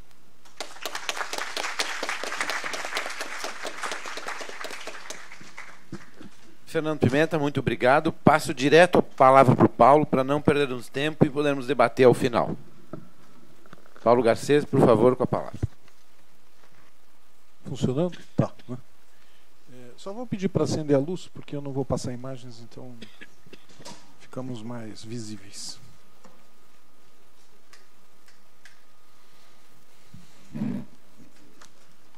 Obrigado, Vera. Bom, é, boa noite a todos e todas. É, eu queria iniciar agradecendo muito o convite do Alberto e do Carlos, né, por permitir que eu possa voltar aqui a, a PUC, não é mais uma vez, e estar aqui com novos amigos, com é, amigos de outros tempos, né? Tô vendo a Cândia aqui, tudo bom? O Gil, a Vera, enfim. Juliana, tantos, né? E uh, conversar um pouco, enfim, de uma perspectiva que me pareceu interessante, não é? Quando soube do teor da mesa, que era discutir também, e acho que vamos ter um diálogo grande aqui com Angola, não é? Em que medida o Brasil é um país ainda lusitano, é, na, se nós tomarmos uh, aquilo que a lista do patrimônio do patrimônio mundial, não é, da UNESCO revela, não é? Portanto, eu parto de uma pergunta, não é, que é se o nosso país ainda é lusitano, não é? E eu já antecipo a resposta que é, do meu ponto de vista, positiva. Sim, somos ainda um país lusitano. E, e Vou procurar construir aqui a minha abordagem, não é que eu procurarei ser bastante conciso, apresentando dados, não é de um texto que eu acabei de publicar, que saiu aqui no Brasil pela Ana Blume e saiu pela imprensa da Universidade de Coimbra também, acabou de sair o livro. E em que justamente eu procuro entender eh, os desafios, não é, de uma uh, política patrimonial brasileira a partir das solicitações que o Brasil faz como república e como signatário da Convenção do Patrimônio Mundial de 72 em que medida ele pede a inscrição de bens na lista do Patrimônio Mundial da Unesco e, portanto, como isso se configura como uh, um conjunto de dados narrativos sobre as trajetórias históricas do Brasil. Né? Data dos anos 30, não é? primeiro com a Inspetoria de Monumentos Nacionais do Museu Histórico Nacional, depois com o IFAM, as práticas narrativas é? de da história brasileira a partir dos suportes da cultura material arquitetônica, não é? isto é, a partir do patrimônio. O Brasil foi um país uh, que se lançou de uma maneira muito ardente não é? a narrar a história não apenas por textos, por livros, por documentos textuais, mas pela preservação dos suportes arquitetônicos, materiais do seu passado. Não é? É, o Sérgio Miceli, né, num texto que eu sempre gosto de lembrar, ele diz não é, que Uh, o IFAM é a nossa mais eficaz política cultural do Brasil até hoje. Ele falou isso na década de 80 e eu continuo acreditando que essas palavras dele têm validade até hoje. Né? O IFAM é um grande órgão deste país, completando 80 anos esse ano, e uh, que se pauta não é, por uma conduta ética muito irrepreensível. Não é? Nunca foi um órgão envolvido em escândalos. O que vamos e venhamos no nosso país, a deriva, não é, é um patrimônio e tanto, é? É, mas, sobretudo, um órgão muito conservador. É? Um desses que é, narra não é, a história do Brasil a partir de chaves muito restritas, que hierarquiza os nossos povos, que hierarquiza os nossos grupos formadores de uma maneira que eu considero bastante desafiadora ainda hoje para nós no nosso país. Não é? Essa, esse título não é, da minha fala faz também uma blague não é, com um livro famoso do Evaldo Cabral de Mello, né, em que ele reuniu textos que ele publicou nos jornais, chamado Um Imenso Portugal, né, em que ele, a partir de uma visada que privilegia o período colonial e o Império Brasileiro, detecta não é, o comportamento das nossas elites no sentido de organizar o Brasil como sendo efetivamente a possibilidade da da, das instituições portuguesas não é, e das formas de organização da sociedade, das práticas culturais portuguesas, se organizarem aqui no Brasil de uma maneira extremamente enraizada, mas extremamente rígida e, sobretudo, extremamente hierarquizadora em relação a todas as outras possibilidades de um, fricção. Não é? Nos textos clássicos dele, isso se dá, por exemplo, com relação ao judaísmo, não é? Em que ele, em O Nome e o Sangue, demonstra não é, as formas muito radicais do Estado português e dos seus agentes no Brasil de eliminar a diversidade religiosa, não é, de criar obstáculos para quem tinha é, não tinha pureza de sangue, não é, nos termos da época. Mas, enfim, práticas institucionais no século XIX não é, que davam e reforçavam o poder às elites agrárias no Brasil, em detrimento das elites uh, urbanas mais eh, transformadoras do país, ou seja, o Brasil é um país uh, que por múltiplas razões para ele, não é, se comportava uh, efetivamente como um herdeiro das tradições portuguesas e sabemos bem isso do ponto de vista prático aqui no Brasil é muito evidente porque a Casa Real portuguesa se transferiu para o Brasil. Dona Maria é a filha, não é? ou seja, é a mulher. A linha secundária volta para Lisboa em 1800 e 21, né, e depois com a coroação de Dona Maria, mas a linha masculina, a linha principal, fica no Brasil com Dom Pedro II, ou seja, os Bragança deixam Portugal para a linha feminina secundária e se transferem efetivamente para o Brasil, obviamente, não é, numa sagacidade da grandeza eh, econômica da colônia e da dificuldade, obviamente, de desta monarquia, não é, desta uh, família reinante uh, optar por um, uma potência colonial que perderia sua principal fonte de recursos.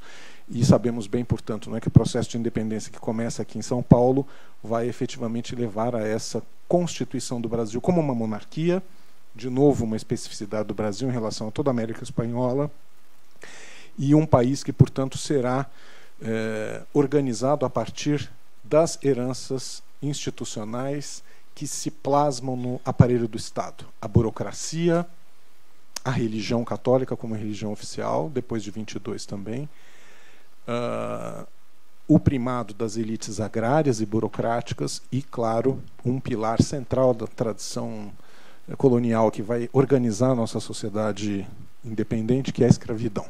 Portanto, o Brasil se renova mantendo-se conservador nas suas formas de organização social a partir da independência. Não é?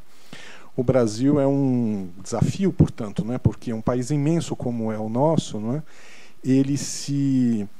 Uh, a maneira como nós o lemos, não é? a maneira como nós o problematizamos como trajetórias históricas, tende a reforçar um paradigma identitário que vai ser cunhado pelos modernistas nos anos 30 e que vai fortalecer a ideia de uma nação unívoca, nação essa que será organizada sobretudo pelas heranças institucionais e culturais do Império Português na América. Não é?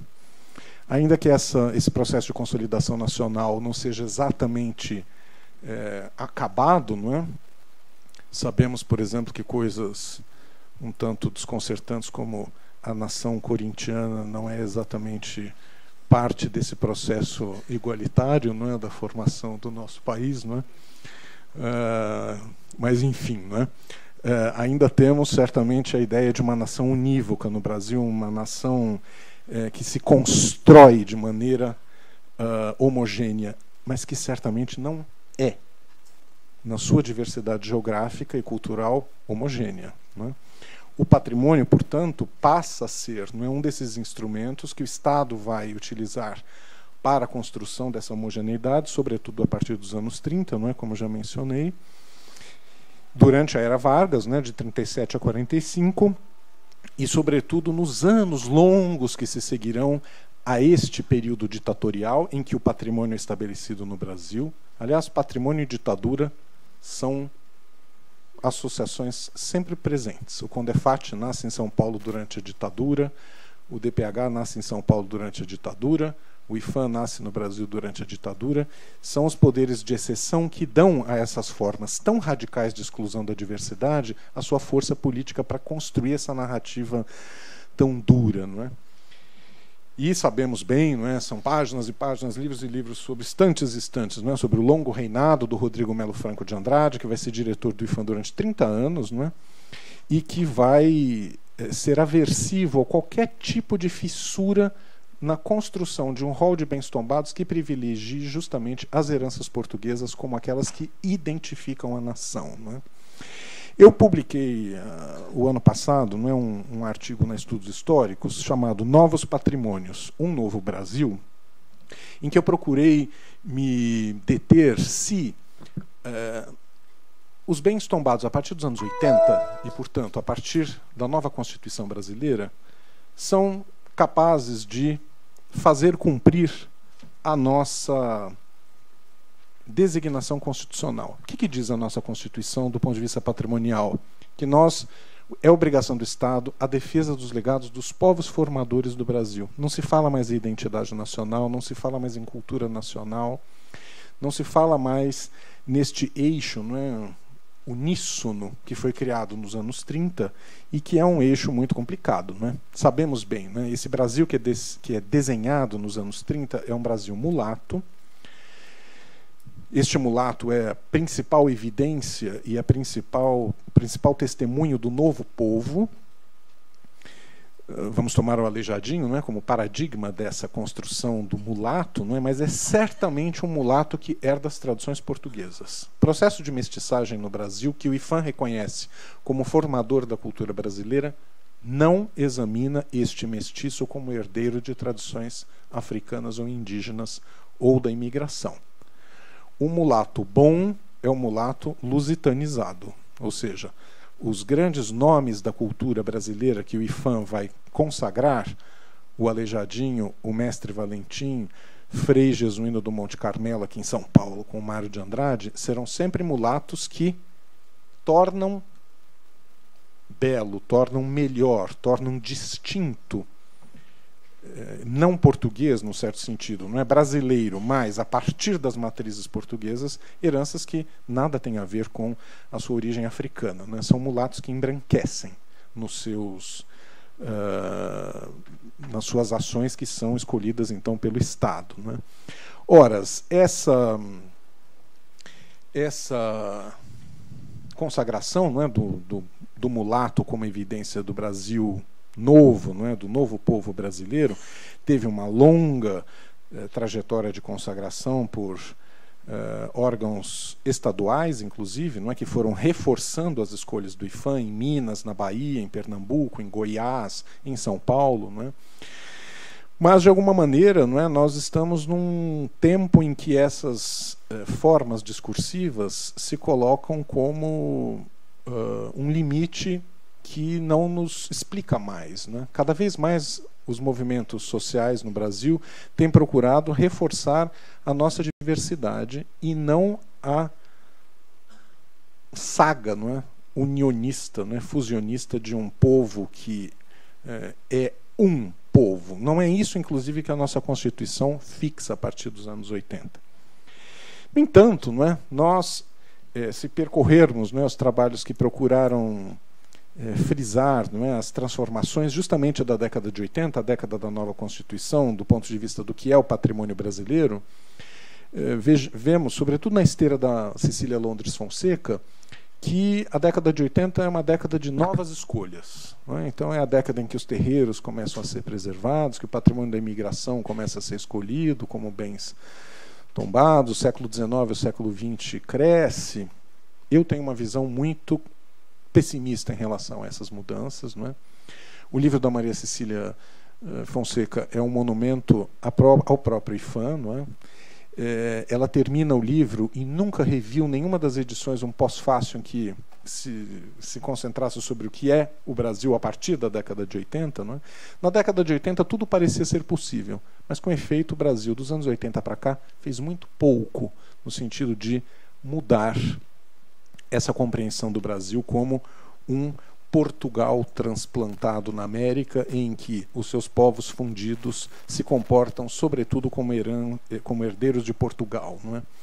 As duas gestões do Lula, nos anos 2000, ampliaram muito aquilo que se convencionou chamar de estoque patrimonial no Brasil, isso já no século XX. Houve muitos crescimentos de bens tombados no Brasil, sob diferentes perspectivas. Não é? Os estados ocidentais do Brasil, que eram pouco preservados, como Piauí, Mato Grosso, Goiás, Tocantins.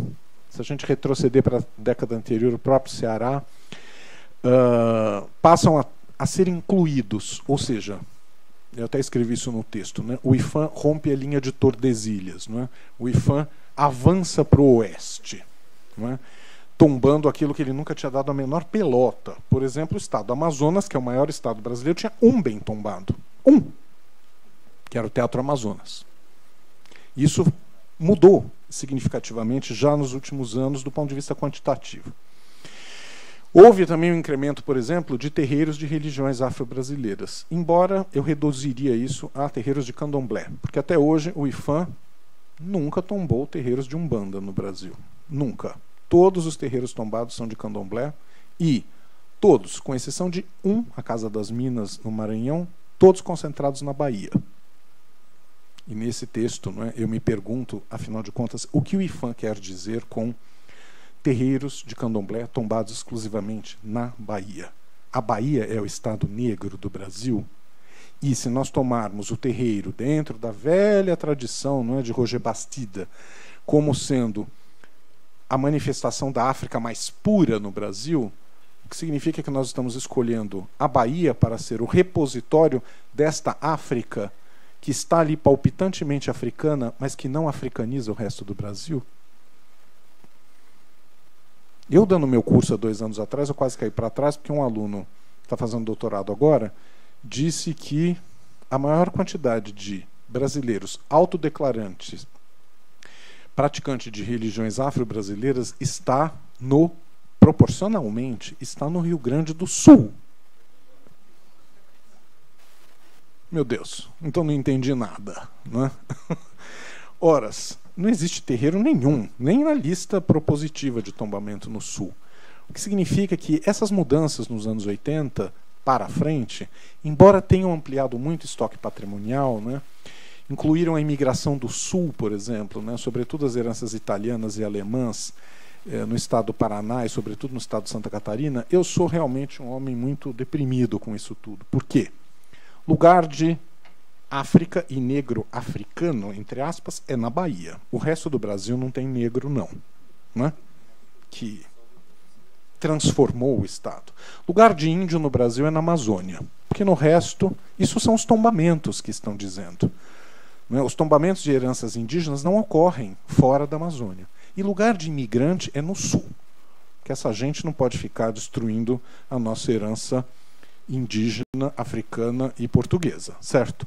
Esses estrangeiros, né, e o IFAM sempre se comportou de maneira muito negativa em relação aos imigrantes, estão eles lá tombados no cafundó do Judas das Serras Gaúchas, bem longe lá, né? Antônio Prado, desde os anos 80. O IFAM não tomba os imigrantes italianos aqui em São Paulo, maior lugar de concentração de imigração italiana. A própria imigração japonesa, nem em 2008 foi o tombamento, foi em 2009, perderam a data do centenário e assim um suadouro para conseguir. Se índio é hierarquicamente complicado no Brasil e africanos também, os imigrantes são a nata do rebotalho, estão abaixo de qualquer coisa. Imigrante não é brasileiro.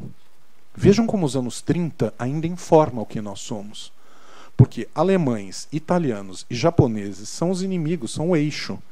E são esses grupos formadores do Brasil que ainda não conseguiram entrar efetivamente, de maneira substantiva, no rol de bens tombados no Brasil, juntamente com eslavos, juntamente com povos judaicos de origem geográfica diferentes, enfim. Né?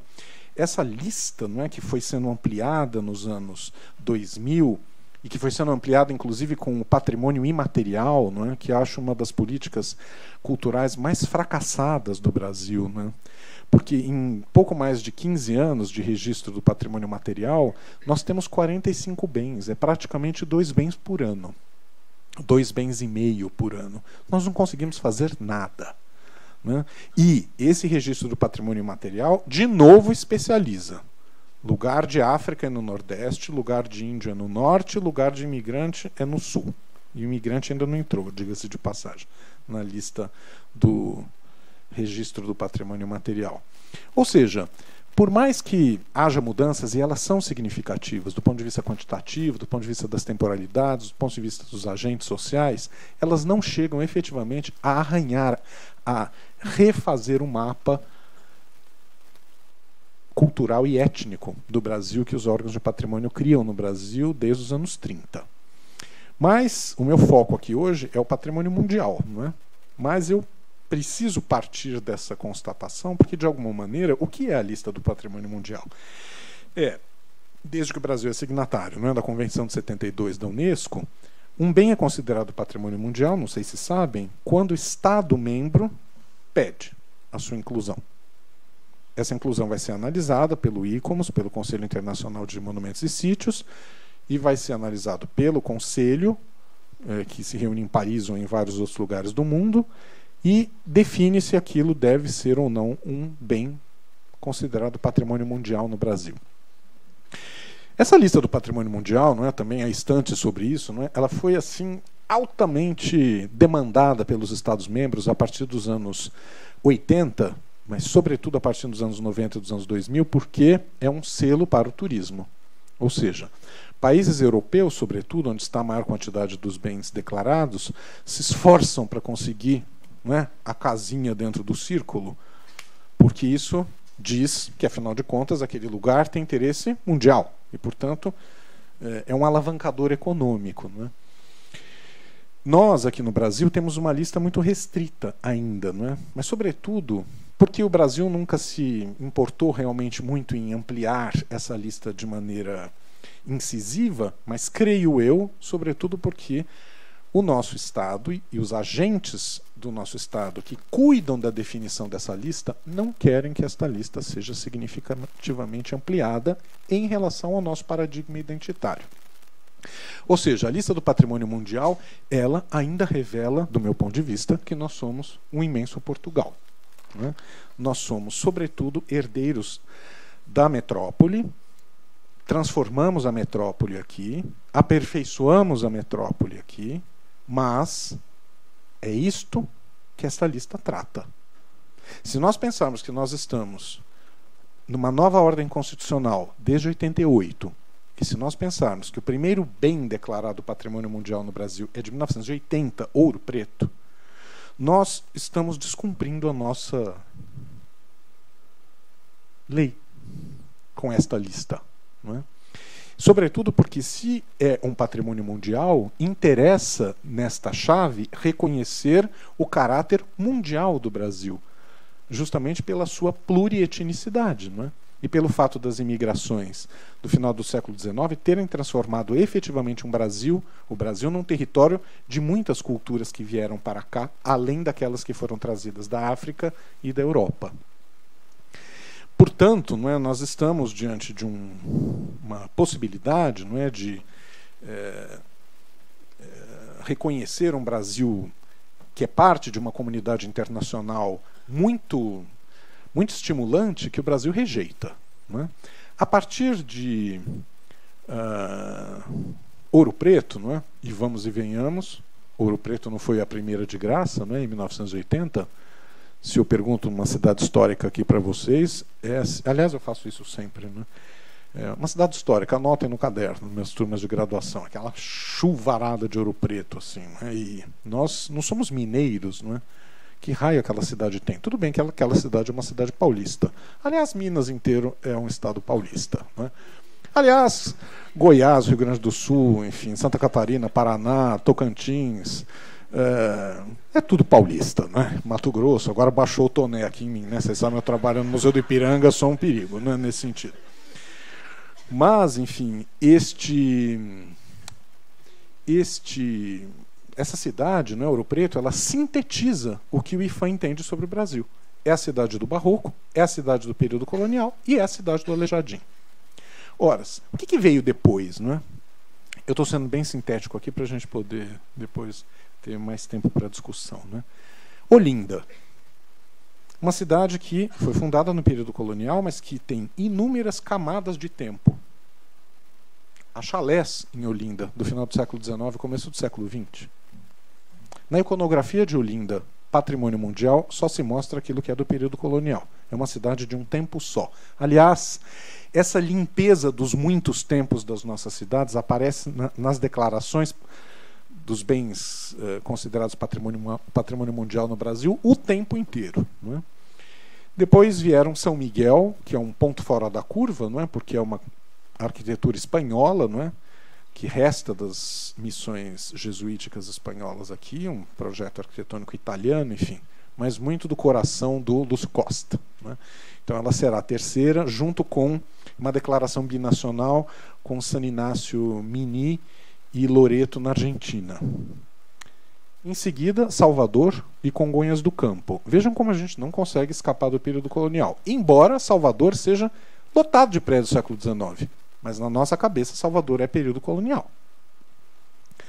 Congonhas do Campo, diga-se de passagem, tudo que está lá é do século XIX. Mas na nossa cabeça, os profetas, os passos da paixão, é tudo do século XVIII. E tudo ali é do século XIX. Não importa. Nós acertamos na nossa cabeça que o momento construtor da nossa nacionalidade é sobretudo o século XVIII e sobretudo Minas Gerais. Né? Brasília, não é, que é a atualização dessas heranças todas, não é? Os, a escola carioca de arquitetura, não é, como aquela que vai conseguir atualizar as heranças do período colonial numa arquitetura efetivamente brasileira. A Serra da Capivara, não é? que é um conjunto de inscrições na pedra, não é? mas que não é exatamente indígena, não é? São povos muito mais antigos, não é? Nada por enquanto que tenha a ver com populações indígenas na lista do patrimônio mundial. Essas pós-contato. São Luís, maior conjunto tombado do Brasil. E nesse maior conjunto tombado vocês podem apostar 70% pelo menos é do século XIX. Mas São Luís é o quê? Fundada pelos franceses, conquistada pelos holandeses, tomada pelos portugueses, a cidade dos azulejos, estampilhados, recobrindo as, as casas, os sobrados, azulejos estampilhados esses que vinham de Portugal e da França, sobretudo, que eram do século XIX. Essa arquitetura é uma arquitetura neoclássica revestida de azulejo por fora. Isso é arquitetura do século XIX. Mas São Luís, inclusive nos atos declaratórios, isso está bem explícito no meu texto, depois se puderem ver, né, é sempre vinculado ao período colonial. Não aquilo que ela é, uma cidade de muitos tempos. Né? Diamantina, de novo, não é uma cidade tão estranha nessa lista quanto Goiás. Por que eu digo isso? Porque a Catedral de Diamantina é do século XX. E a igreja talvez mais marcante da paisagem de Goiás Velho é uma igreja, a igreja do Rosário, que é uma igreja neogótica do século XX. Nunca essas duas igrejas, que são óbvias na paisagem, aparecem na iconografia. Ou seja, a iconografia selecionada mostra sempre o que é, é testemunhal das heranças portuguesas. Aliás, se o IFAM pudesse, já tinha explodido aquela igreja neogótica, não é? como eles fizeram várias vezes. A sede de Olinda é um caso. Não é? Era uma igreja neocolonial, era, era, ainda a velha, a velha sé do século XVI, revestida de neocolonial e traços neogóticos, e o IFAM e a Fundarp, nos anos 70, fizeram um restauro absurdo que transformou aquilo numa igreja maneirista portuguesa do século XVI. Ou seja, não é? existem nas práticas de restauro uma ação profilática de limpeza dos tempos que estragam a herança portuguesa, assim como na própria escolha dos bens que devem ser preservados. Para além disso, e aí eu acho não é, que a escolha dos terreiros de candomblé é muito significativa nisso, não é? porque ainda é a ideia de que ali há uma africanidade isolada, específica da Bahia, enquanto processos de fusão não é muito pautados pela Umbanda, sobretudo, não é? e que é liderado pela tradição africana, embora tenha outras práticas culturais associadas dentro da Umbanda, mas a Umbanda é a África comandando. África comandando o processo de mestiçagem de jeito nenhum. África é tombado no Brasil, isolado no terreiro em Salvador. Não é? De uma maneira de se consagrar uma herança africana, mas dentro de um lugar, dizendo que ela não impacta o Brasil. Nós somos portugueses. Existe, existem os outros grupos, mas eles estão hierarquicamente estabelecidos nos territórios que convém. E, obviamente, essas escolhas são escolhas absurdas, não é? porque as religiões africanas e as heranças africanas estão no país inteiro, os imigrantes estão também no país inteiro. Muitas das construções mais significativas de Salvador, por exemplo, do ponto de vista político, como o Palácio da Aclamação, e o Palácio. É... Oh, meu Deus! O palácio lá no Campo Grande são projetos de arquitetos italianos. Mas italiano em Salvador não dá. Não é? Italiano a gente põe na Serra Gaúcha, no Bexiga, não é? essas coisas assim que a gente isola ele ali. E nós não entendemos que o Brasil é feito pela transformação desses grupos todos interagindo simultaneamente. São Cristóvão, não é? De novo é uma uma demanda recente na lista que de novo reconsagra esse parâmetro, não é? Que vinha com Goiás e com Diamantina. O Rio é um grande problema, não é? Do meu ponto de vista, porque o Rio foi declarado Patrimônio Mundial negando seus tecidos urbanos. O IFAM odeia o Rio. O IFAM só tombou no Rio bens isolados, nunca tombou bairros porque os bairros do Rio são sobretudo do século XIX e do século XX. Não tem a pureza do maneirismo, do barroco e do rococó português, transplantado e relido, reelaborado e aperfeiçoado eventualmente aqui. São é, são paisagens neoclássicas e ecléticas. O IFAM nunca tombou nada no Rio.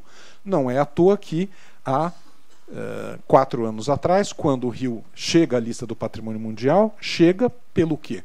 Pelas montanhas pela praia de Copacabana, esse é o mosaico português, aquele copiado do Rossio, e depois o de, o de Burle Marx, o aterro do Flamengo, ou seja, é a natureza que vai ser preservada pela Unesco, não a cidade, não esse rio multifacetado. A Pampulha, que é o nosso último bem escrito na lista, ora, a Pampulha é, né, é, é, é, de novo a síntese de tudo isso, a arquitetura moderna, né? o primeiro grande conjunto dos Oscar Niemeyer a ganhar visibilidade internacional, e é, enfim, usa as pedras de quartzito, não é mineiras, mas usa sobretudo um grande painel de azulejos de Oscar Niemeyer em azul, cobalto e branco, inspirados, obviamente, nos painéis portugueses do período colonial. Meu Deus do céu, não é? Eu, como sou descendente de portugueses, estou falando aqui com tranquilidade total, mas não é possível uma prática de Estado no Brasil que fique dizendo o tempo todo que nós somos basicamente uma coisa. Né?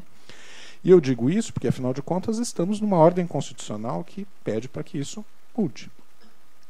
Algumas coisas têm procurado criar fissuras nisso. Né? Acho que o IFAM, a partir dos concursos dos anos 2000, mudou, né? houve uma renovação doutrinária, porque, olha, gente, até a Constituição de 88, os cargos no Brasil podiam ser indicados. A partir da Constituição de 88, passou a ser só por concurso público. O IFAM ficou 20 anos sem concurso. Ou seja, o legado doutrinário da era Vargas e da fase heróica, enfim, continuava até 2000 regendo o IFAM. Aí fizeram os concursos, entrou esse povo todo que vem das universidades, cheio de ideias novas. E assim, eu gostaria que historiadores fizessem um texto sobre o que foi o embate entre velhos e novos agentes de preservação nos anos 2000 no Brasil. Né? Aqui no IFAM em São Paulo, inclusive. Né? De gente querendo dizer que patrimônio de imigração era patrimônio nacional e funcionários do IFAM dizendo de jeito nenhum.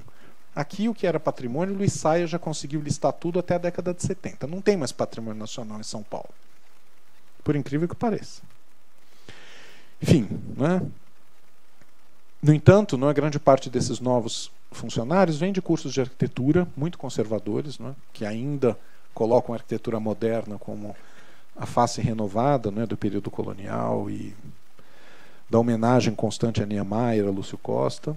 Os nossos conselhos que nunca são estudados. Né? Acho que tem o trabalho da Márcia Chuva, que é fundamental, mas que a gente também, como historiadores, não estende isso. Nós precisamos estudar quem são os conselheiros. Uma vez eu escutei no encontro no Rio de Janeiro, ai, São Paulo, de uma conselheira do IFAM que já faleceu, paulista. São Paulo é um problema, né? Aquele cheiro de molho de tomate naquela cidade. Depois eu vim descobrir que ela era neta de italianos. Falei assim, não há sessões de análise que dê conta disso, não é? Nós temos efetivamente o peso da tradição muito grande nas nossas cabeças, não é? Como se nós, para sermos brasileiros e aprendemos a ser desde Van Hagen no século XIX, passando por tantas outras marcações, você conhece muito bem, não é? O Silvio Romero, não é? Que de alguma maneira é uma é um caminho que nós temos que seguir, não é? E que de alguma maneira nós mantemos até hoje, não é? Me, me deixa muito insatisfeito isso, não é? Acho que nós como servidores é, do Estado, eu sou um, não é? Temos que lutar por isso. Acho que o Museu Paulista, quando estiver reaberto em 2022, tem que mostrar essa pluralidade, né? Mas, sobretudo, as universidades têm um peso importante não é, de construir problematizações para tudo isso. Não é? Eu espero que vocês façam isso. Não é? Mais do que a nossa lista indicativa. Não é? Porque a lista indicativa que está submetida à IFAM, ao, à Unesco, para os próximos anos, quer o registro como patrimônio mundial de Paranapiacaba. Eu vou ter um troço se isso acontecer, não é? porque é uma cidade inglesa. Não é? Transplantada e materializada, refeita aqui por mão de obra local, inclusive. Os dois teatros da Amazônia, o Teatro da Paz e o Teatro Amazonas, não é, em Belém e Manaus, que são prédios feitos por imigrantes italianos, Acho que vai, o doutor Lúcio vai se revirar na tumba, né, se isso acontecer. Lúcio Costa. O Ver-o-Peso, né, com a arquitetura do ferro importada da Escócia e da Inglaterra, também está na lista indicativa. A Pedra do Ingá, na Paraíba, né, um geólito com as inscrições em relevos de povos pré-cabralinos. Mas temos aí um longo caminho, né, até os nossos arranha-céus. Né. A América do Sul foi o primeiro continente fora dos Estados Unidos a erguer arranha-céus, antes da Europa. Né? Não temos nenhuma, nenhuma intenção de reconhecer o Banespa, por exemplo, dentro dessas marcações internacionais. Né? A guerra dos, dos, dos arranha-céus entre Uruguai, Argentina e Brasil, querendo saber quem vai ficar mais alto, quem vai ficar mais alto. Né? Isso como uma experiência norte-americana. São tantas questões aqui não é? que acho que nós para chegarmos lá na lista do patrimônio mundial, temos ainda um longo caminho. Né? Traçamos alguns caminhos árduos e poucos bem-sucedidos, do meu ponto de vista, no IFAM, para a lista do patrimônio mundial. Os combates ainda terão que ser muito maiores. E acho que os historiadores têm que se integrar efetivamente nessa discussão, porque nós pensamos em pluralidades e múltiplos agentes da formação do Brasil já há muitas décadas. Muito obrigado pela atenção de vocês.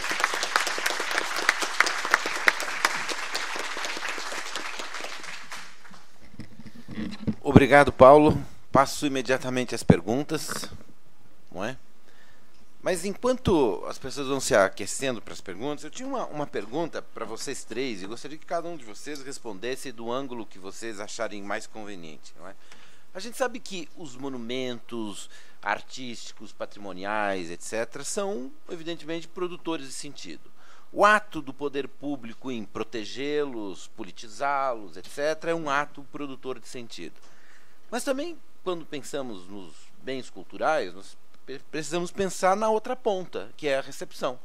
E aqui eu estou pensando no, no, público e me vem à mente, claro, o, o, a politização em torno do, do, do, do monumento do general confederado em Charlottesville.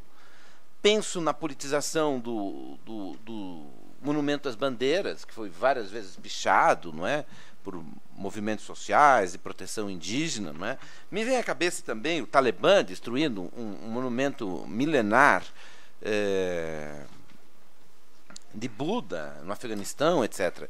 Então eu gostaria que vocês pensassem um pouco e refletissem e tal sobre a questão do público, não é? Como que o público, como como que se pode pensar a preservação quando monumentos passam a ser representantes de ideias absolutamente intoleráveis por parte do público.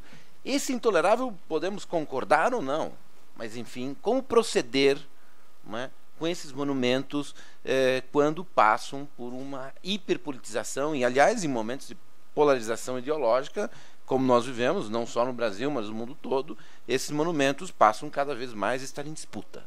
É? Então gostaria de uma palavra sobre isso, enquanto que a plateia vai se aquecendo. Depois eu passo a palavra para a Vera. Você quer falar agora, Vera? Vamos deixar eu responder essa e depois vamos. Bom, quem começa? Na ordem. então, se é pela ordem. Um, pois, em relação a esta questão, um, no seu tom mais. Um, mais suave não vale a pena responder porque a gestão da, dos públicos, etc., não é relevante, uh, no sentido, não é polémica. Uh, a ideia é, obviamente, quem, quem, quem lida com os políticos de património cultural deve acompanhar o sucesso e a capacidade de atrair e de influenciar os públicos. Isso é um problema que se aplica a todas as políticas culturais e, portanto, aqui também se aplicaria.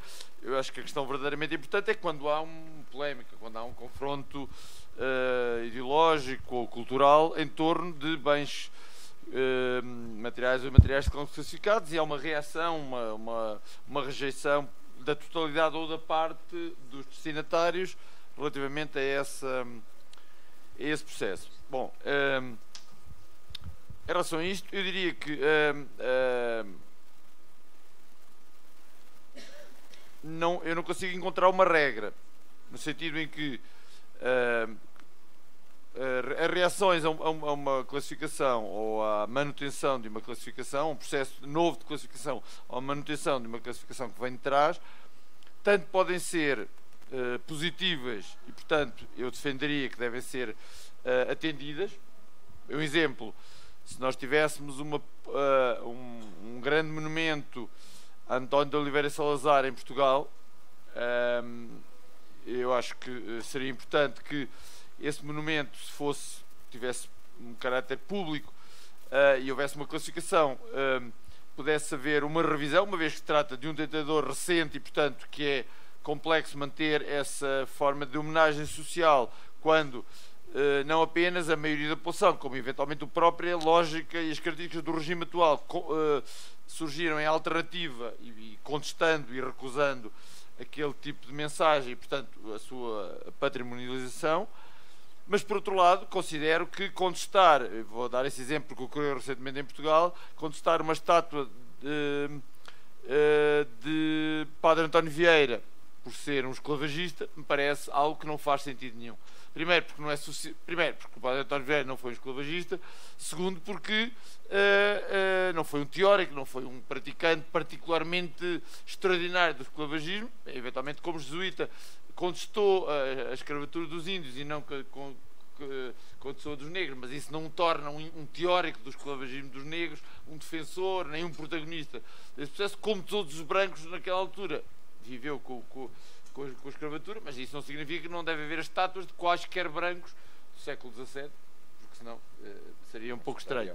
É? Portanto, uh, eu diria que a resposta é é uma, é, uma, é, um, é uma questão polémica que divide opiniões e, portanto, a, a, a, decisão deve ser tomada tendo em conta o que faz sentido e o que uh, atinge e, e, corresponde a uma maioria esmagadora da pessoa, das pessoas ou uh, à defesa de valores uh, indiscutivelmente ou fundamentalmente definidores de uma determinada visão positiva da realidade. Tudo o que seja uma parte mais ou menos radicalizada, mas significativamente minoritária, ou que não corresponda à defesa de valores essenciais, não faz sentido. Sob pena de todas as formas de reconhecimento simbólico e de valorização de natureza patrimonial se tornarem impossíveis, porque haverá sempre, haverá sempre alguém que contesta, a partir de uma determinada perspectiva, uma escolha feita por outra com o qual não concorda. Portanto, uh, eu diria que este é o exemplo. Eu, eu, dava um exemplo de que, por exemplo, estado, na, na, África do Sul hoje, um segmento do ANC, que penso eu está com significativos problemas, porque o ANC está em risco de perder eleições numa próxima fase, queria introduzir um populismo uh, anti-ocidental ou anti-europeu, à semelhança do que aconteceu, por exemplo, no, no Zimbábue, e os resultados no Zimbábue foram, foram bastante notáveis e, portanto, é possível já perceber o que poderá vir a acontecer à África do Sul se acontecer o mesmo no Zimbábue, tem como um dos principais lembres simbólicos a eliminação de todas as formas de representação simbólica que lembrem a dominação europeia na África do Sul, incluindo a destruição de património classificado. Obviamente, o objetivo não é renovar a caracterização da história e da representação simbólica da, da história, de, através do património da história da África do Sul, é mobilizar populista, de forma populista um determinado tipo de ódio contra o branco e contra o colonizador ou o ex-colonizador e, e, as atuais classes médias ou classes elevadas na África do Sul, que são na maior parte do caso de Maria Branca, mas, portanto, mobilizar esse populismo para conseguir apoio social que depois resulte na instauração de um regime que provavelmente evoluirá no sentido ditatorial. Portanto, esse tipo de soluções eu penso que não fazem sentido e que não resultam em nada. É? é? É, possível revalorizar os outros aspectos sem destruir aquele e sem os contextualizar de alguma forma. Mas eu diria que há casos em que é significativo e faz sentido desclassificar e até retirar do espaço público, mantendo-os, por exemplo, em contexto museológico e, e caracterizando uh, o contexto em que aqueles monumentos foram produzidos e, foram mantidos. Não consigo dizer mais do que isto. Obrigado muito obrigado pela questão, que eu acho que é extremamente pertinente. E eu apenas falarei também do caso que apresentei do caso angolano.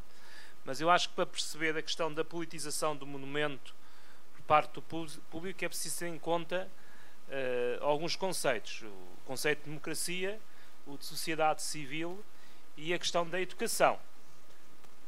Uh, portanto,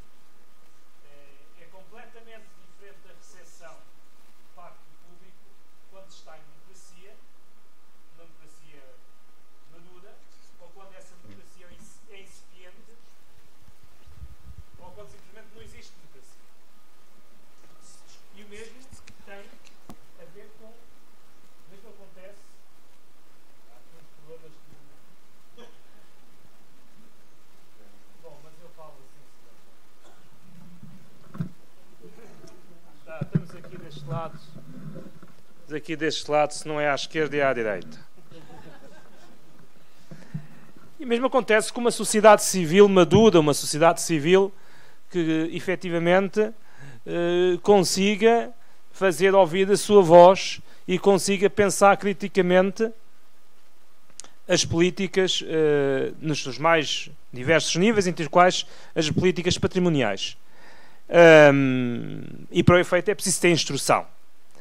Bom, em Angola, é um, Angola é um país que teve, depois da independência, um regime de partido único, uma ditadura de partido único, e que a partir dos anos 90 iniciou um processo de democratização, mas um processo complicado, não é? Algo incipiente. Não podemos dizer, embora haja um parlamento e haja eleições gerais uh, em, e multipartidárias em Angola, não podemos dizer que Angola seja uma, uma democracia madura. E muito menos podemos dizer que a sociedade civil angolana seja uma sociedade civil madura. Uh, como tal, uh, as oportunidades de, de, de, crítica por parte dessa sociedade civil, civil relativamente às políticas governamentais, entre as quais as políticas de património, são muito limitadas. É? Muito, muito, muito limitadas. Portanto, há uma imposição, claramente, por parte de, do, do governo, uh, do que é que é património, do que é que não é património. Dito isto, dito isto, logo a seguir à independência, o Estado angolano teve, em todo o caso, em atenção, a atenção de retirar algumas das estátuas dos colonizadores europeus, dos administradores portugueses. Havia nas principais cidades estátuas relativas a, a governadores, a autocomissários, etc, etc. E o governo angolano, apesar de toda esta ligação ao passado colonial por parte do MPLA, teve o cuidado, nessa altura, de retirar as estátuas dos seus pedestais e de as colocar em museus. O MPLA não destruiu estátuas. Houve estátuas que foram destruídas ou monumentos que foram destruídos no meio da guerra civil. Mas não houve uma política. Uh, noutros países houve. No caso de Angola, não houve uma política deliberada de destruição das estátuas dos colonizadores. Houve mudanças de nomes, houve mudanças da toponímia, uh, mas não houve uma política de, de, de destruição.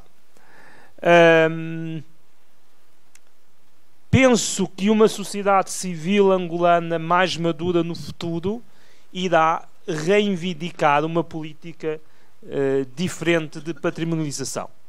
Irá certamente reivindicar uma política que tenha muito mais atenção não é, ao património de origem pré-colonial ou ao património africano não diretamente relacionado com, com, o, com o colonizador europeu. Por enquanto, ainda é cedo. Por enquanto, não há condições para que isso aconteça uh, em Angola. E mesmo do ponto de vista político, os partidos da oposição que o poderiam fazer, não é? Foram, nomeadamente a UNITA, perdão, nomeadamente a UNITA, que combateu a guerra e que hoje subsiste como partido político, não tem a força para o fazer. Não sei se, se respondi à sua questão, mas. Pronto, obrigado.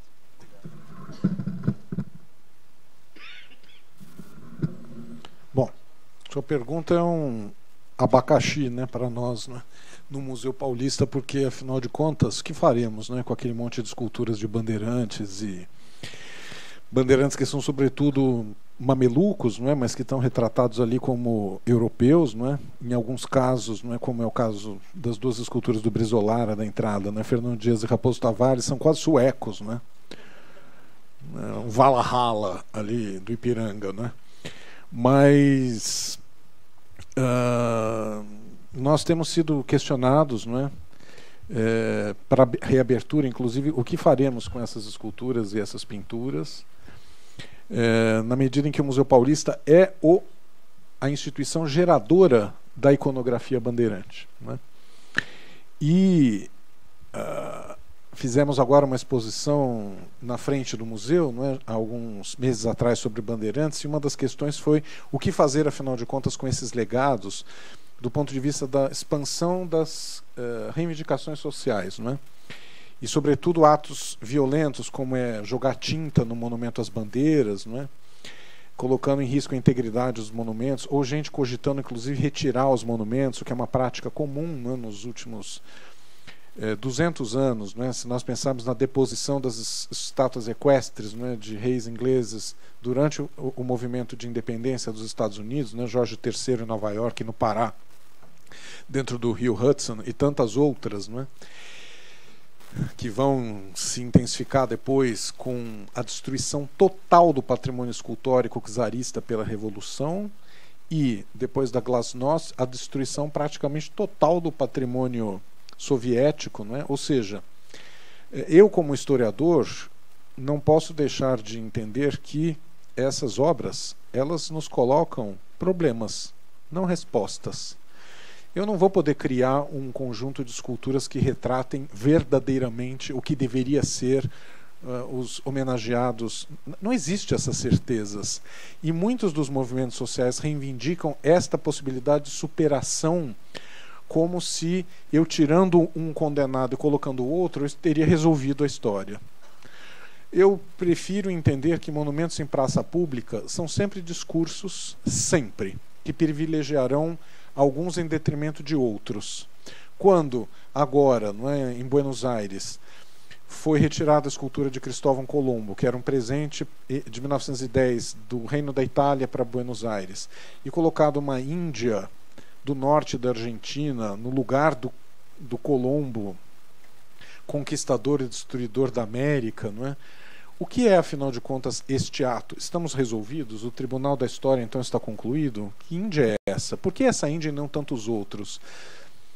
Eu uh, me resigno a deixar as coisas onde estão e torná-las problemas. Por que, que eu penso isso? Porque eu não tenho outra alternativa. O Museu Paulista é tombado pelo IFAM, pelo Condefat pelo Compresp, ou seja, os bandeirantes vão continuar todos lá. Então o que, que nós podemos fazer como curadores? Trabalhar esses gestos. E acho que isso serve para qualquer canto. Me incomoda como cidadão que o Monumento às Bandeiras esteja lá sem nenhuma placa problematizando aquele monumento.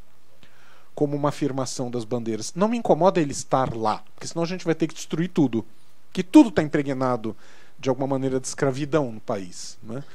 É, mas me incomoda que aquilo esteja ali falando escultoricamente, sozinho, sem sem uma placa de oposição àquela narrativa a partir de uma outra narrativa que possa criar uma fricção no visitante. Não é?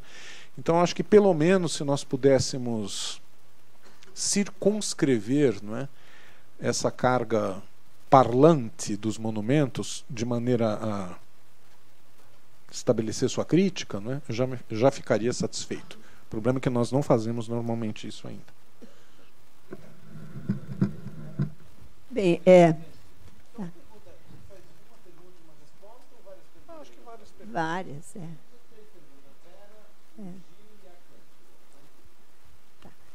É, então, a minha, a minha pergunta, é, na realidade, é uma, uma um comentário e uma pergunta mesmo, que é o seguinte: é, tra, é, eu acho que a mesa, fundamentalmente, tratou das políticas né, de patrimônio. E, e assim, o que eu é, fica sempre me incomodando muito, que acho que muito das políticas de patrimônio, é, elas são é, decorrentes de como a população reconhece o seu patrimônio. A própria população reconhece o seu patrimônio ou não. Por exemplo, o professor acabou de dizer, foi para Olinda, e aí o pessoal falou, ah, aqui não tem nada quase, ou São Luís. Ah. E aí ele viu montes de coisas que são patrimônio, e a pessoal não conhece. Quantas vezes a gente diz assim, ah, aqui em São Paulo não tem patrimônio nenhum, o que, que vai fazer turismo aqui? Não tem patrimônio nenhum, como que a gente vai fazer?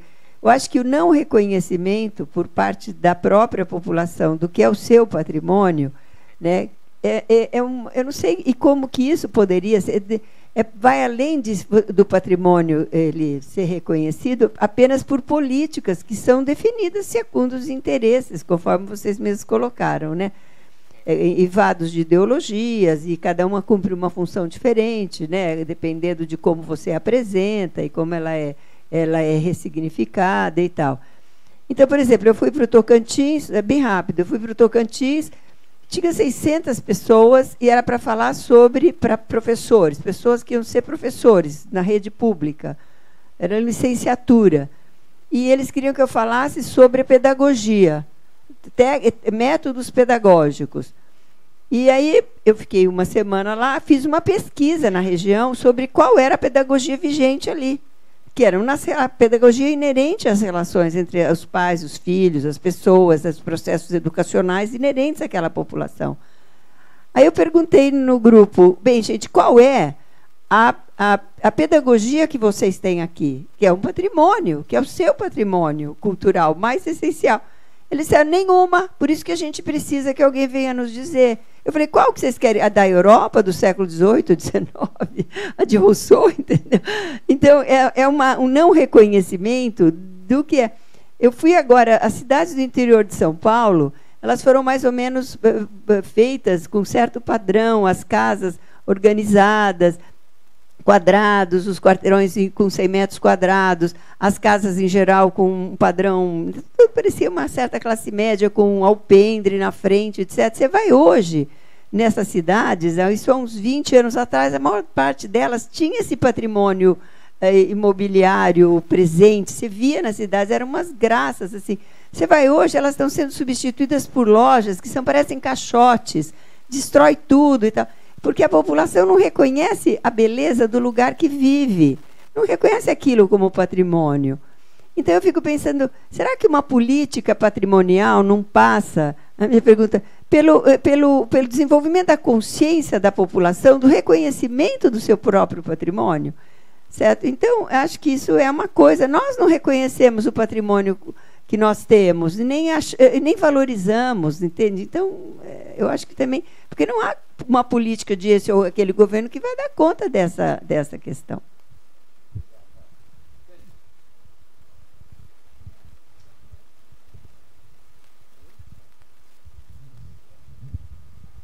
Não, na verdade, não é exatamente uma pergunta, é um comentário. É, eu gostei muito do que o Paulo falou sobre a questão da, da a, a eliminar a temporalização ou o tempo na, no, nos, nos monumentos. Mas eu acho que nós temos um problema, como a professora falou, com os monumentos escultóricos mesmo. Quer dizer, não é só do museu, que vocês têm realmente um, um grande abacaxi na mão, mas é, não existe essa identificação, porque nós não conseguimos ainda chegar nem perto do que seria educação patrimonial. Então, não tem placa, não tem indicação, não tem identificação. Quer dizer, então, quando uh, picha o Monumento às Bandeiras num ato de rebeldia, tudo bem, mas também ele não conhece, ele não sabe. Quer dizer, aquilo é um monumento paulista. Por exemplo, pouca gente sabe que a gente tem um monumento ao Garcia Lorca. Foi o primeiro monumento no mundo em homenagem ao Garcia Lorca, que foi fuzilado pelas tropas do Franco. A mesma coisa o, o monumento da Revolução dos Cravos. As portas que abriu, abriu. Quer dizer, pouquíssima gente sabe, porque não tem placa. Quer dizer, é um monumento uh, moderno, um monumento de linhas retas e que as pessoas não identificam porque ele não é figurativo.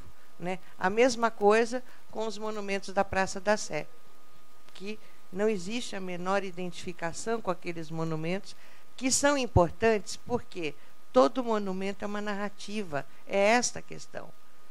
E a gente não consegue trabalhar esse patrimônio escultórico como narrativa. Então, é, eu, eu sempre fico pensando o que, que a gente poderia fazer. Como estabelecer uma política de educação patrimonial, não só escultórica, mas todo o resto, mas principalmente escultórica. Porque vai chegar um momento que nós vamos uh, eliminar o tempo e eliminar a memória. De uma maneira geral. Então era só isso. É, eu fiquei incomodada, né, porque eu acho que o Paulo colocou uma coisa que é um problema mesmo e que a gente enfrenta esse problema o tempo todo, que é a destruição do patrimônio, porque não existe nenhuma identificação. E há uma ruptura entre o que o IFAM ou o poder público decide e o que o povo identifica. Existe um vácuo entre essa, essas instâncias. Né? E eu acho que é uma questão que deve ser cada vez mais debatida é, para que a gente consiga, é, não sei, é, minimizar um pouco isto. É só um comentário.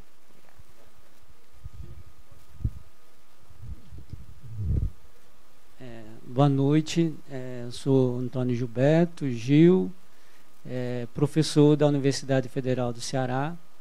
É, primeiramente, eu queria parabenizar a mesa, né, os organizadores, é, e eu tenho uma alegria voltar à PUC, porque minha formação é aqui na PUC, meu mestrado, doutorado, e fui professor do Departamento de História aqui.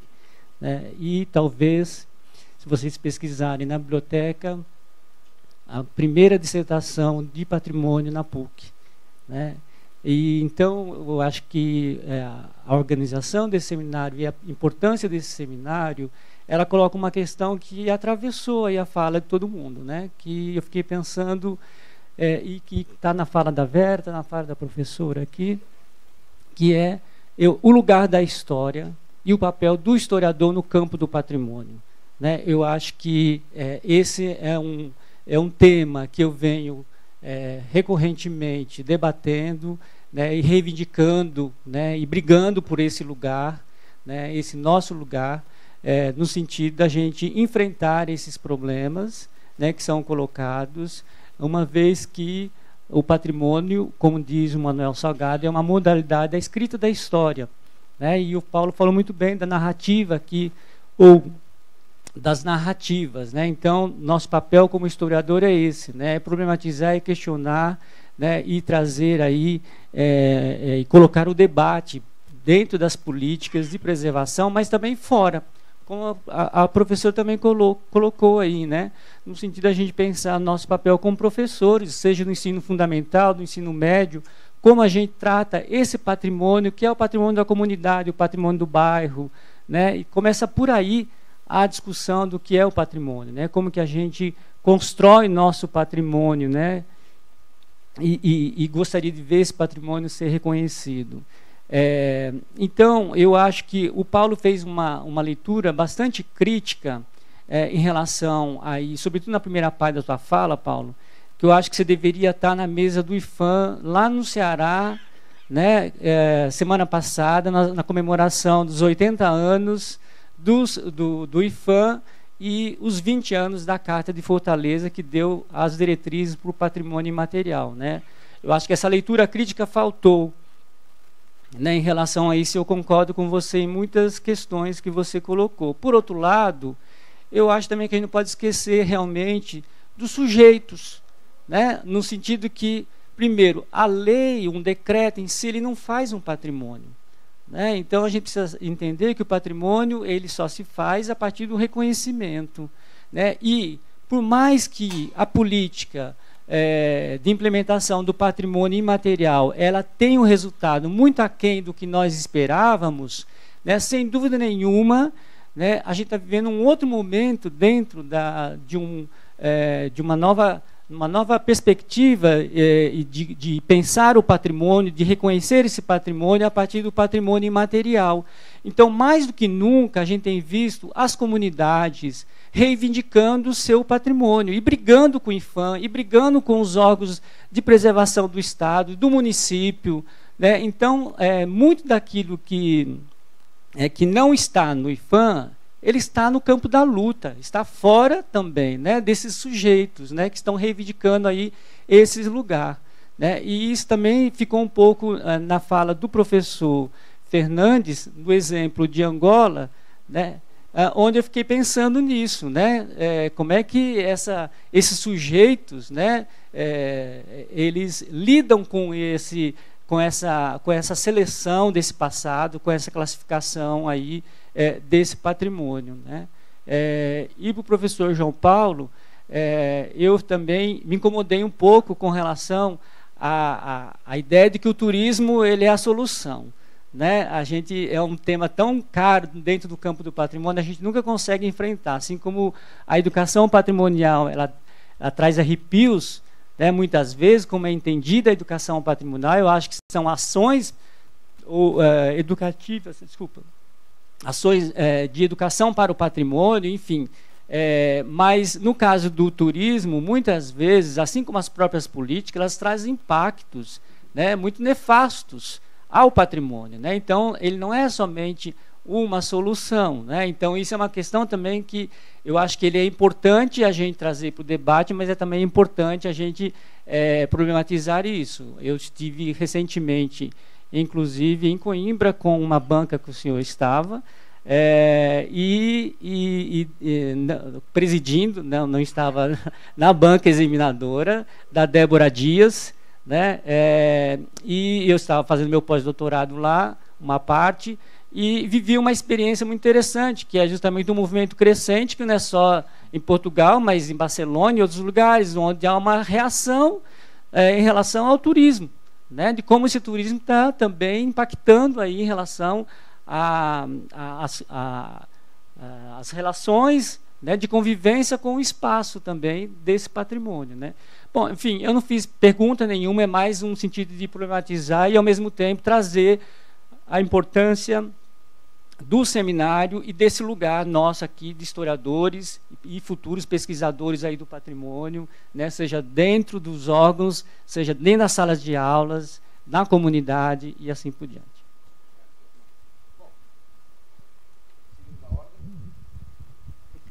Ok, voltando a ligar aqui o maquineto.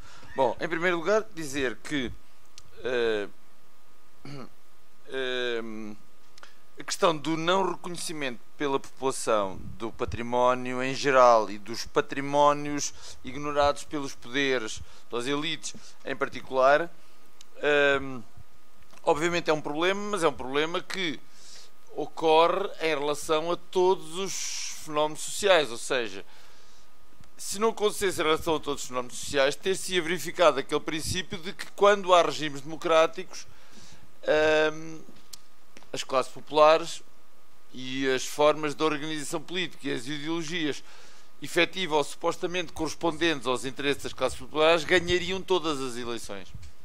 E curiosamente isso não aconteceu na maior parte dos países. Ok? Na maior parte dos países, o que se descobriu foi que quando chegou a democracia, ou seja, voto universal masculino e feminino, com liberdade de organização política, sindical, de comunicação social, etc., quem ganhou as eleições foram os mesmos partidos que ganhavam quando uh, não havia isso, quando havia voto censitário, etc. Pode haver uma ligeira alteração, já, sei lá, o exemplo britânico, até é pioneiro, que foi a primeira vez que, o primeiro caso que aconteceu, um dos dois partidos deixaram de ser de, de centro-direita, os dois, e passou a haver um partido trabalhista e um partido conservador, mas o que aconteceu foi quando o Partido Trabalhista ganhou, em grande parte adotou as mesmas políticas. Portanto, a, a, a ideia de que os sistemas reproduzem-se porque as pessoas não contestam a lógica de funcionamento do sistema, incluindo na área do património, é, portanto, em termos gerais, isso é uma constatação histórica e sociológica que só pode ser alterando, só pode ser alterada eh, conquistando espaço e eh, eh, ganhando esse espaço às concepções dominantes. Não vejo outra solução. E partir do princípio que quando o bom selvagem conquistar o poder, o mundo vai ser perfeito, já foi experimentado várias vezes e não resultou muito bem. Portanto, penso que não, nunca será, a humanidade não melhora esperando que o, o bom selvagem, ou seja, o maximamente oprimido, chegue ao poder e aí, por ser eh, o, o detentor do poder, ao libertar-se a si próprio, liberta todos os outros. Pronto, não, não, não parece um bom caminho, já foi tentado várias vezes e não, não resultou muito eficazmente. Lembramos que a burguesia começou por dizer isso de si própria, com as revoluções liberais, e depois foi o proletariado e também não resultou, e pronto. E, Ok, essa, essa ideia eu acho que genericamente é, é, é, um problema e só se pode libertando as pessoas e fazendo com que nós todos nos convençamos, convencemos a escolher as melhores soluções no património como nas outras questões todas. Bom, a outra questão mais complicada é como é que vamos pensar isso mais tecnicamente. E aí eh, eu penso que poderíamos introduzir categorias como cultura erudita, culturas populares e cultura de massas. Sendo que supostamente a cultura erudita é o que permite fazer isso, mas ela é uh, muito uh, é de muito difícil acesso e portanto há uma há uma de alguma maneira uma seleção das pessoas e uma segregação das pessoas. Em princípio as culturas populares permitiriam isso, mas o problema é que as culturas populares não não reconhecem sequer a noção de património cultural, muito menos do património cultural do outro as culturas populares são tendencialmente totalitárias. Convém lembrar que só há noção de património cultural com as revoluções liberais. Antes não havia património cultural e as culturas populares excluíam a presença do outro. Lembrar que quando a cultura popular é hegemónica, a presença cultural do outro é uma ameaça e, o, e, o, e esses vestígios são destruídos.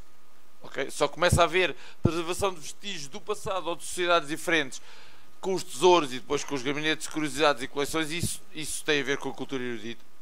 As culturas populares só se reconhecem a si próprias e recusam todas as outras, populares ou não, e a cultura de massas uh, pressupõe a vivência no, no, presente contínuo, utilizando aqui a expressão do, do Hobsbawm. Ora, o presente contínuo recusa o passado, nega a existência do passado. No presente contínuo, o máximo que há é são os nossos avós, que é mais ou menos o que nós vivemos hoje, embora no tempo dos nossos avós. Portanto, significa que quando nós pensamos porque é que as camadas populares, porque é que a população em geral não reconhece a importância do património cultural, não reconhece porque não faz parte do seu mundo, ou porque numa perspectiva de culturas populares só a nossa cultura, só aquela cultura popular que existe, todas as outras ou não existem, são inimigas e têm de ser recusadas, são uma invasão, são uma intrusão inaceitável num determinado universo fechado sobre si próprio, que se reproduz supostamente de forma eterna ao longo do tempo, claro que não se reproduz de forma eterna, mas é pensada como tal, e a cultura de massas não reconhece a existência do passado, só vive o presente, e portanto o presente é a única coisa que vale a pena, tudo o resto é irrelevante. Não é? Eu tenho uma experiência, em muitos países já, já, já aconteceu isso, que é estar a falar com. Estou a lembrar um caso do Rio de Janeiro, estou a falar com um senhor que está a guardar um monumento nacional no Rio de Janeiro. Um funcionário. E que estamos a falar e ao lado estão a decorrer escavações. E o senhor pergunta: Eu não sei porque é que gastam dinheiro em tentar desenterrar coisas do passado coisas antigas, coisas velhas, o que é que isso pode interessar? Disse, bem, pronto, eu não, não sei, talvez, pronto, tentei, assim, mas quer dizer, é um funcionário que está a guardar aquele monumento, olha para o lado e diz, agora estão a gastar dinheiro para ainda por cima coisas que estão enterradas. Qual, porque há tantas, há tantas escolas, tantos hospitais, porque ok? Até podia ser um, podia ser um, uh, sei lá, um enterramento de escravos, portanto não era o caso de ser de, de, do colonizador. É, portanto, como é que isso ultrapassa? Só se pode ultrapassar trabalhando, quer dizer, obviamente educando, discutindo, trazendo não apenas o património dos outros, mas o dessas próprias pessoas, para que elas percebam o significado que tem para elas e, portanto, se tem para elas, também os outros terão, etc. Mas, quer dizer, eh, esse é o problema. O problema tem a ver com o acesso a, a, às várias formas culturais, nomeadamente à cultura erudita. E o património cultural é, só existe na cultura erudita pode ir buscar as outras culturas, pode trazer as pessoas de umas para as outras, pode ou trazer para a cultura não quer dizer que abandone o conhecimento e a vivência das suas culturas populares ou da cultura de massas, mas pressupõe o acesso à cultura erudita. Portanto, se ele não acontece, tendencialmente as pessoas não entendem isso. Convém lembrar que durante grande parte da história da humanidade não havia a noção de património cultural. Só nasce verdadeiramente a partir das revoluções liberais ou dos regimes de cariz proto-liberal na Holanda, na Inglaterra, um ou dois séculos antes da, do liberalismo na maior parte dos outros países. Quanto à questão da, do papel do historiador e da, da, da, função da educação patrimonial, que em princípio será feita por historiadores e por outros especialistas do património cultural, antropólogos, filósofos, etc. Bom, o papel do historiador, no caso dos nossos dias, eu acho que é fácil de defender, porque eu acho que a história estuda todos os temas, a partir de toda a documentação, discutindo todos os, os, os paradigmas teóricos e epistemológicos. E, portanto, se os historiadores fazem isso nos países com regimes democráticos e em sistemas uh, universitários onde há liberdade de investigação e de ensino, significa que a história hoje produz leituras códigos de descodificação, problematização de todos os assuntos em termos de reconstituição da realidade e, portanto, isso pode ser utilizado como guia de construção de políticas patrimoniais. Não há nenhum problema. Portanto, eu acho que aí é a parte fácil, ou seja, se nós quisermos, história e antropologia, quando digo história, história da arte e arqueologia e, e, e antropologia, hoje funcionam permitindo absoluta liberdade e absoluta pluralidade de objetos e de leituras acerca dos objetos e de, e de narrativas de contextualização dos objetos. Aliás, o que caracteriza a nova museologia é precisamente isso, tratar todos os temas a partir de todas as leituras. E o ideal é até que o mesmo tema seja tratado de maneiras radicalmente diferentes e essas leituras alternativas sejam propostas ao, ao, ao, aos vários, ao mesmo público. Precisamente para perceber que o mesmo tempo possa ser tratado de várias maneiras. Eu já agora daria dois exemplos de Portugal sobre isto. Nós temos em Portugal um museu Uh, três exemplos. O Museu de Arte Popular, que é uma invenção do Estado Novo, teve a ver com a expulsão do mundo português em 1940. Portanto, é, faz parte do coração do regime. Convém lembrar que o secretário, o secretariado da Propaganda Nacional, depois de 44, para evitar a conotação com a palavra propaganda, se passou a chamar Secretariado Nacional de Informação, Cultura Popular e Turismo. Ok? Ora, esse museu foi desmontado e nunca mais foi remontado. Diríamos muito bem, porque se é fazer propaganda ao Estado Novo. Não. A melhor maneira de estudar o Estado Novo e de, de o pôr em discussão é preservar os seus ícones e discuti-los. Como o colega disse, ou seja, produzir informação e análise de contexto sobre eles. Outro que nós temos em Coimbra é o Portugal dos Pequenitos, que é apresentado como um parque de diversões para crianças e jovens e não como um ícone do Estado Novo. Já agora, um, ícone do Estado Novo, curioso, porque foi desenhado por um arquiteto que era opositor ao Estado Novo e que, era, e que esteve proibido de desenhar em Portugal durante pai duas décadas e que foi convidado por um, por um dirigente do Estado Novo, que era antes um republicano opositor ao Estado Novo e que, por ser maçom como arquiteto, o convidou e obteve a autorização de Salazar para que ele desenhasse uh, o Portugal dos Pequenitos. Okay? E tudo isso pode ser contado, interpretado e analisado, etc. Não é? E portanto, eu diria, ah, já agora outro exemplo, a Universidade de Coimbra, a Alta e a, e a Sofia foram classificadas como Património Mundial pela Unesco, curiosamente, sendo que um dos objetivos da Unesco era que uh, uh, valorizar o facto de Portugal propor um património arquitetónico associado a uma ditadura.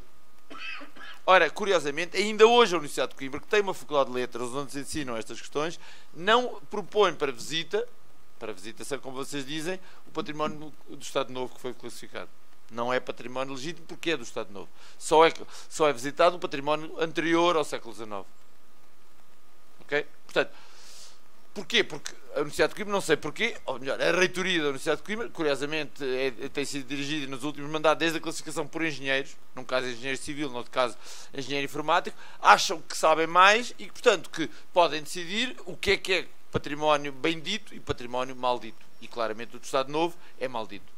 E não pode ser interpretado e, e valorizado. Portanto, hum, eu diria que hoje os historiadores têm uma enorme facilidade em fazer isso, quer enquanto divulgação do conhecimento investigado, quer enquanto aplicação à definição de políticas patrimoniais, quer enquanto educação patrimonial, que é porque nós em História, nós em Antropologia, em países como o Brasil e como Portugal, temos liberdade para investigar, ensinar tudo através de toda a documentação e propondo todas as leituras possíveis. Portanto, se isto existe ao nível da produção de conhecimento, pode ser transposto para a patrimonialização. A mais pesada, a mais formal e a mais informal, começando pelas coisas banais do dia a dia. E eu, como venho uh, para o património a partir da arqueologia industrial, ou seja, do património associado à cultura material contemporânea, estou particularmente a falar disso porque o meu património é o património que ninguém vê como património e que precisamente marca e caracteriza a vida das pessoas na sua variedade, na sua pluralidade, começando pelos mais pobres, começando por aqueles que eh, supostamente não têm nenhuma forma de vivência cultural a não ser a cultura material, a não ser sobreviver e, e realizar as tarefas necessárias à sobrevivência no dia a dia. Era isso.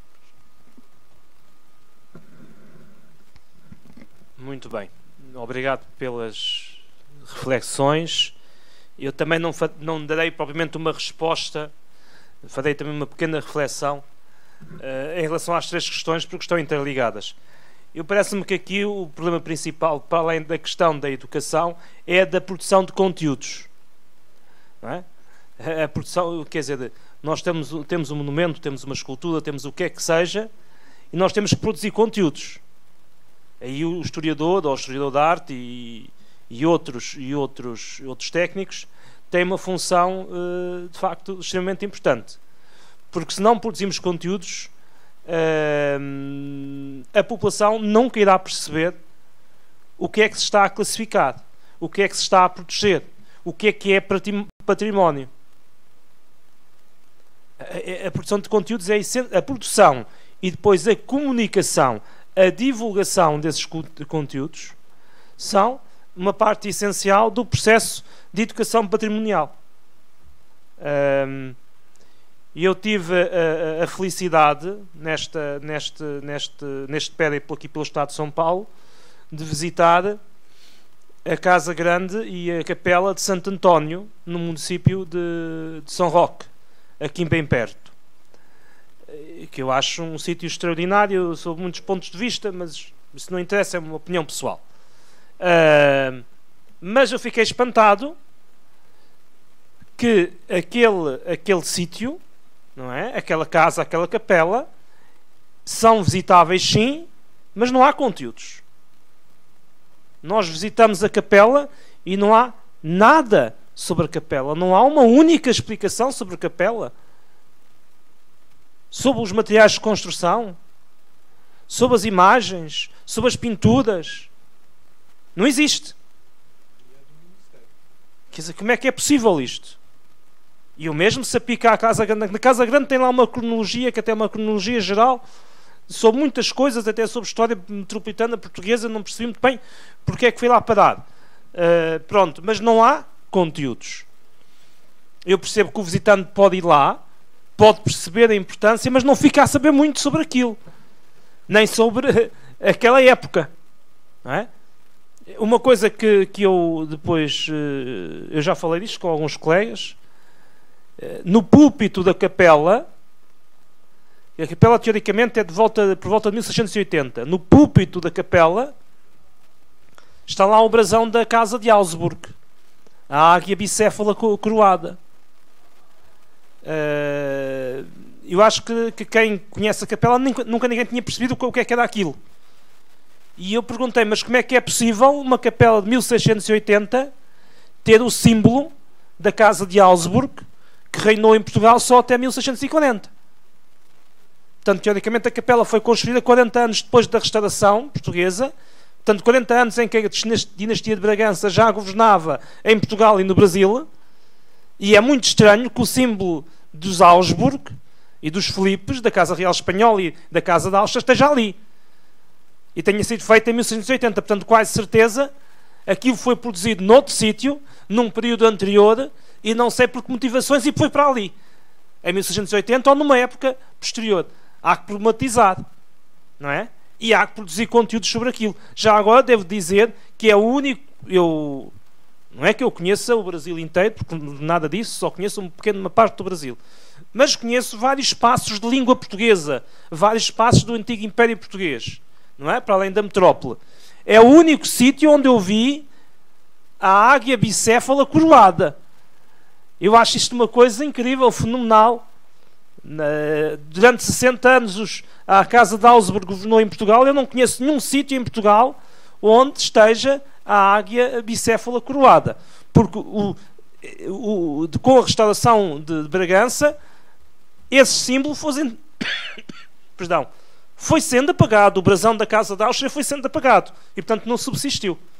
Uh, bom, isto é apenas um pequeno exemplo, não é? Uh, mas uh, o que é que se poderia fazer a partir disto? Não é? Que história se poderia contar a partir disto? Um, e, portanto, parece-me que a, a, produção de conteúdos é essencial, a, a, produção e depois a comunicação desses conteúdos é essencial para o sucesso da educação patrimonial junto da, da população. Não basta classificar. Quer dizer, é preciso conhecer e dar a conhecer. Obrigado.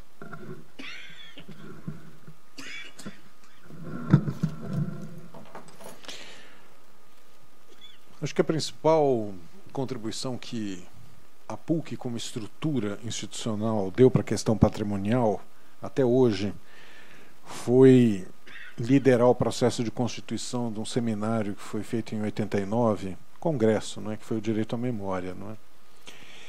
Que o DPH fez durante a gestão da DEF Fenelon, que era professora da PUC e, e diretora do DPH. O que, que aconteceu naquele seminário, não é? Que era justamente construído nos anos que seguiram a nova Constituição. A memória não é algo que se recebe, a memória é algo que se conquista. Como qualquer outro direito social, não é? É, nós não devemos é, hiperlativizar a nossa capacidade de uh, exigir os nossos direitos. Qualquer brasileiro sabe que nós temos direito à educação, direito à saúde, direito à memória. Né? Isso não é concedido pelo Estado jamais, não é? Isso é negociado pelo Estado, sobretudo a partir de uma forma discursiva muito fechada. O Estado não quer dar memória a ninguém, como o Estado não quer dar saúde, não quer dar educação, o Estado não quer dar nada. Né? Nós não somos um país de, de longa tradição democrática. Não é? Então, me parece que essas questões ligadas a a dificuldade que nós temos de trazer essas questões da memória para o nosso cotidiano tem a ver menos com a tipologia, menos com as coisas, mas mais com a dimensão política da memória. Não é? Nós não estamos atentos a que a memória é um dos nossos direitos. Não é? E, portanto, o patrimônio vai ter que interagir com tudo isso. Que, com efeito, não é quem controla a nominação dos bens museológicos ou edificados são os conselheiros, são os técnicos, são os eruditos, e isso vai ao largo da população. Vou dar um exemplo para vocês. Nós estávamos montando uma exposição, quando o museu ainda estava aberto, não é? que não chegou a ser inaugurado, sobre formas de habitar aqui em São Paulo. E nós fizemos, a Vânia Carneiro de Carvalho, a curadora dessa exposição, ela fez um levantamento enorme do que, que o acervo do Museu Paulista tinha de artefatos domésticos ligados à produção de alimentos. Ou seja, quem pegava a mão na massa, literalmente. Não tínhamos praticamente nada. E ela se dedicou durante meses a comprar esses artefatos, que, por terem sido muito utilizados, chegavam ao museu muitas vezes ao quebrados, porque eles eram instrumentos de trabalho. Uma das curadoras, é, um tanto exaltada, um dia falou assim: O que vocês estão fazendo enchendo as nossas reservas técnicas dessa porcaria? Ou seja, não é para ter. Nem quando um de nós, um dos eruditos, abre, a pessoa não quer. Então acho que a gente precisa, na verdade, é, criar caminhos para a reconstrução dessa responsabilidade da dominação patrimonial. A população não sabe o que quer, porque ela nem sabe que ela tem direito. Então acho que aquele, aquele sinal não é que a PUC e o DPH deram há quase 30 anos atrás já, né, como o tempo voa, né? É, acho que a gente ainda tem que construir isto. Eu lembraria ainda duas coisas. Né? A primeira delas, eh, dentro dessa identidade que nós temos ou não com as coisas patrimoniais. Eu esqueci de falar o último bem patrimonial que o Brasil viu registrado na lista, que é o Valongo, o Cais do Valongo, no Rio de Janeiro. Cais do Valongo que muita gente comemorou, porque afinal de contas era um lugar de reconhecimento da memória da escravidão no Brasil. Bom, eu, como historiador, fico pensando em quem está lá, naquele lugar, de novo. De, a quem interessa a escolha de um lugar que reifica a memória da escravidão pela submissão? Ou seja, uma, um cais de pedra em que você arrasta os escravos para serem vendidos como objetos. Claro que isso é um lugar importante para a construção de uma certa abordagem crítica da memória brasileira. Mas me parece que memória da escravidão com as quais as pessoas daquela região se identificam é muito mais a favela do Morro da Providência, que foi onde, inclusive, surgiu o termo favela. Ninguém vai. Ninguém se preocupa em preservar, afinal de contas, algo que talvez faça sentido para os moradores, a maior parte afrodescendentes que moram ainda naquelas, naquelas casas que foram duramente mantidas a despeito de inúmeras tentativas do Estado de erradicar essas favelas é, a sua inscrição no espaço da cidade, portanto, não é? é? não é isto, não é? É o lugar do desembarque dos escravos, o cemitério dos pretos forros, que era onde eram jogados os cadáveres pretos novos, que eram jogados os cadáveres dos escravos que chegavam e morriam, ou seja, é toda uma escolha que reifica, no fundo, a escravidão como dominação e não a escravidão como espaço de criação de estratégias, de resistências, etc. É? E nós acabamos de fazer isto acabamos. Não foi um complexo de suportes de memória das tensões que a escravidão construiu na nossa sociedade. O que a gente escolheu para tombar é como a ilha de Gorré, no Senegal. Né? Quer dizer, é o lugar que reforça, no fundo, a escravidão como lugar de dominação. Será que é isso que as pessoas que moram ali efetivamente gostariam de ser, que fosse preservado? Não, é? não sei, não é? Acho que a gente muda com muita dificuldade, né? inclusive no patrimônio material, Gil. Né? E eu entendo isso que você diz. Realmente é uma revolução construir a consciência patrimonial, a atribuição de valor e sentido patrimonial com a população. Isso é realmente uma grande novidade. Mas a lista, para mim, é uma lista dura, porque, de novo, é índio na Amazônia, é negro nas cidades do litoral açucareiro, sobretudo, ou aqui no Rio de Janeiro, no Vale do Paraíba a gente territorializa não é, esses grupos étnicos que estão, paradoxalmente, em todos os lugares do país, a partir dessas circunscrições, como se, no fundo, no fundo, a única entidade efetivamente presente em todo o território nacional é a herança portuguesa. E, portanto, uma perspectiva totalmente eurocêntrica e branca, brancocêntrica da nossa construção memorial. Né? Então, para além das minhas dificuldades em relação a isso como intelectual, né, e como curador de coleções, como conselheiro de órgãos de preservação que já fui, acho que está a minha minha dificuldade como cidadão, né, de entender que a gente ainda escreve as coisas de uma maneira tão fechada, né? Sua, sua, o seu raio-x de Angola me, me apavorou um pouco, né? Porque essa ideia de que para muitos, eh, muitas províncias angolanas ainda o patrimônio colonial é o grande protagonista, não é? Mesmo em Luanda, enfim, né? Nas áreas mais centrais que os acúmulos de tempo permitiram muitas outras coisas, não é? para além dos legados coloniais, sobretudo, né? e isso ainda continua sendo, para um Estado não colonial, né? a principal herança? Claro que é, sem dúvida, mas o protagonismo que você sinaliza é um pouco assustador, né? mas não é diferente do nosso, no fundo. Né? Não é diferente do nosso. Portugal realmente é um país que merece todos os esforços interpretativos, porque acho que um país minúsculo como Portugal construiu sistemas de dominação e de poder em lugares tão distantes da Europa e com tamanha eficácia, uma, uma elite que conseguiu manter colado um país deste tamanho, né, com uma fragilidade total né, de conexões terrestres, a partir de certos vínculos, né, legados né, que a gente é, celebra, não é? enfim, nós acho que o Evaldo estava certo, não é? Quer dizer, nós somos efetivamente esse imenso Portugal porque herdamos no fundo essas práticas de poder absolutamente eficazes e violentas, não é? Nós só podemos entender um, uma, um, uma prática colonial por um país tão frágil se ele for realmente genial do ponto de vista político. E isso acho que ainda permanece na, na experiência patrimonial, não é? Nós gostamos desse passado, eu acho. Bom, gente, nós precisamos encerrar. A Vera nos avisou que temos pouquíssimo tempo. Eu queria, antes de passar para o Gustavo, que vai encerrar a sessão, agradecer os três professores pelas falas extraordinárias. Realmente muito obrigado aos três, ao público que ficou até aqui, até agora. E muito obrigado. Queria agradecer em particular a Vera, que colocou, eh, deu a gente a missão, mas também a, a responsabilidade, e por que não uma honra, de fazer esse evento. Obrigado, Vera. Não é? E agradecer a vocês por ter vindo aqui. Passo a palavra para o Gustavo fazer o fechamento. Eu vou ser bem breve, porque estão colocando a gente para fora daqui, né, Vera? Queria agradecer a Vera, né?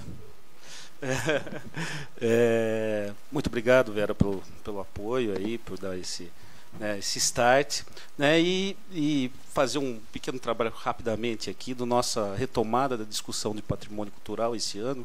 Né, então, se a gente for pensar, reativamos o Museu da Cultura, né, é, fizemos uma exposição no qual trabalhamos e, e fizemos os alunos a, a trabalhar né, de uma forma totalmente voluntária com a história da PUC, né, um trabalho de, de, é, de fôlego né? Tivemos uma mesa é, na Semana de História sobre patrimônio cultural e museologia com o professor Tonhon. É, e estamos fechando aqui com essa mesa sobre é, patrimônio cultural. Né? Então, acho que, de uma forma decisiva, nós estamos encarando né, todas essas questões que vocês colocaram. Né? Eu acho que cada vez mais a gente percebe que a questão do patrimônio ele não pode estar isolado em algumas disciplinas, como o professor falou, ele perpassa por todas, né? E essa é a nossa tentativa, né? Aqui no departamento, a partir do momento que assumiu o museu, né? Com todas essas atividades. Então, eu gostaria de é, agradecer abertamente novamente o professor Paulo. Muito obrigado, Paulo, por estar aqui. O Fernando Pimenta, que ele vai, é, diz que vai vir para o Brasil, porque ele encontrou uma fazenda chamada Pimenta em Dayatuba, que ele vai reivindicar.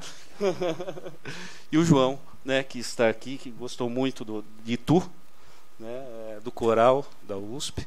Né, em todos os sentidos, né, João? Você gostou muito do coral. E espero que para o ano que vem nós tenhamos é, atividades como essas e para que a gente possa discutir de forma tão viva e crítica né, a questão do patrimônio cultural né, que cada vez está cada vez mais presente, né, e eu acho que é cada vez mais necessário o departamento se, se empenhar nisso. Então, boa noite a todos, muito obrigado e tenham uma boa semana.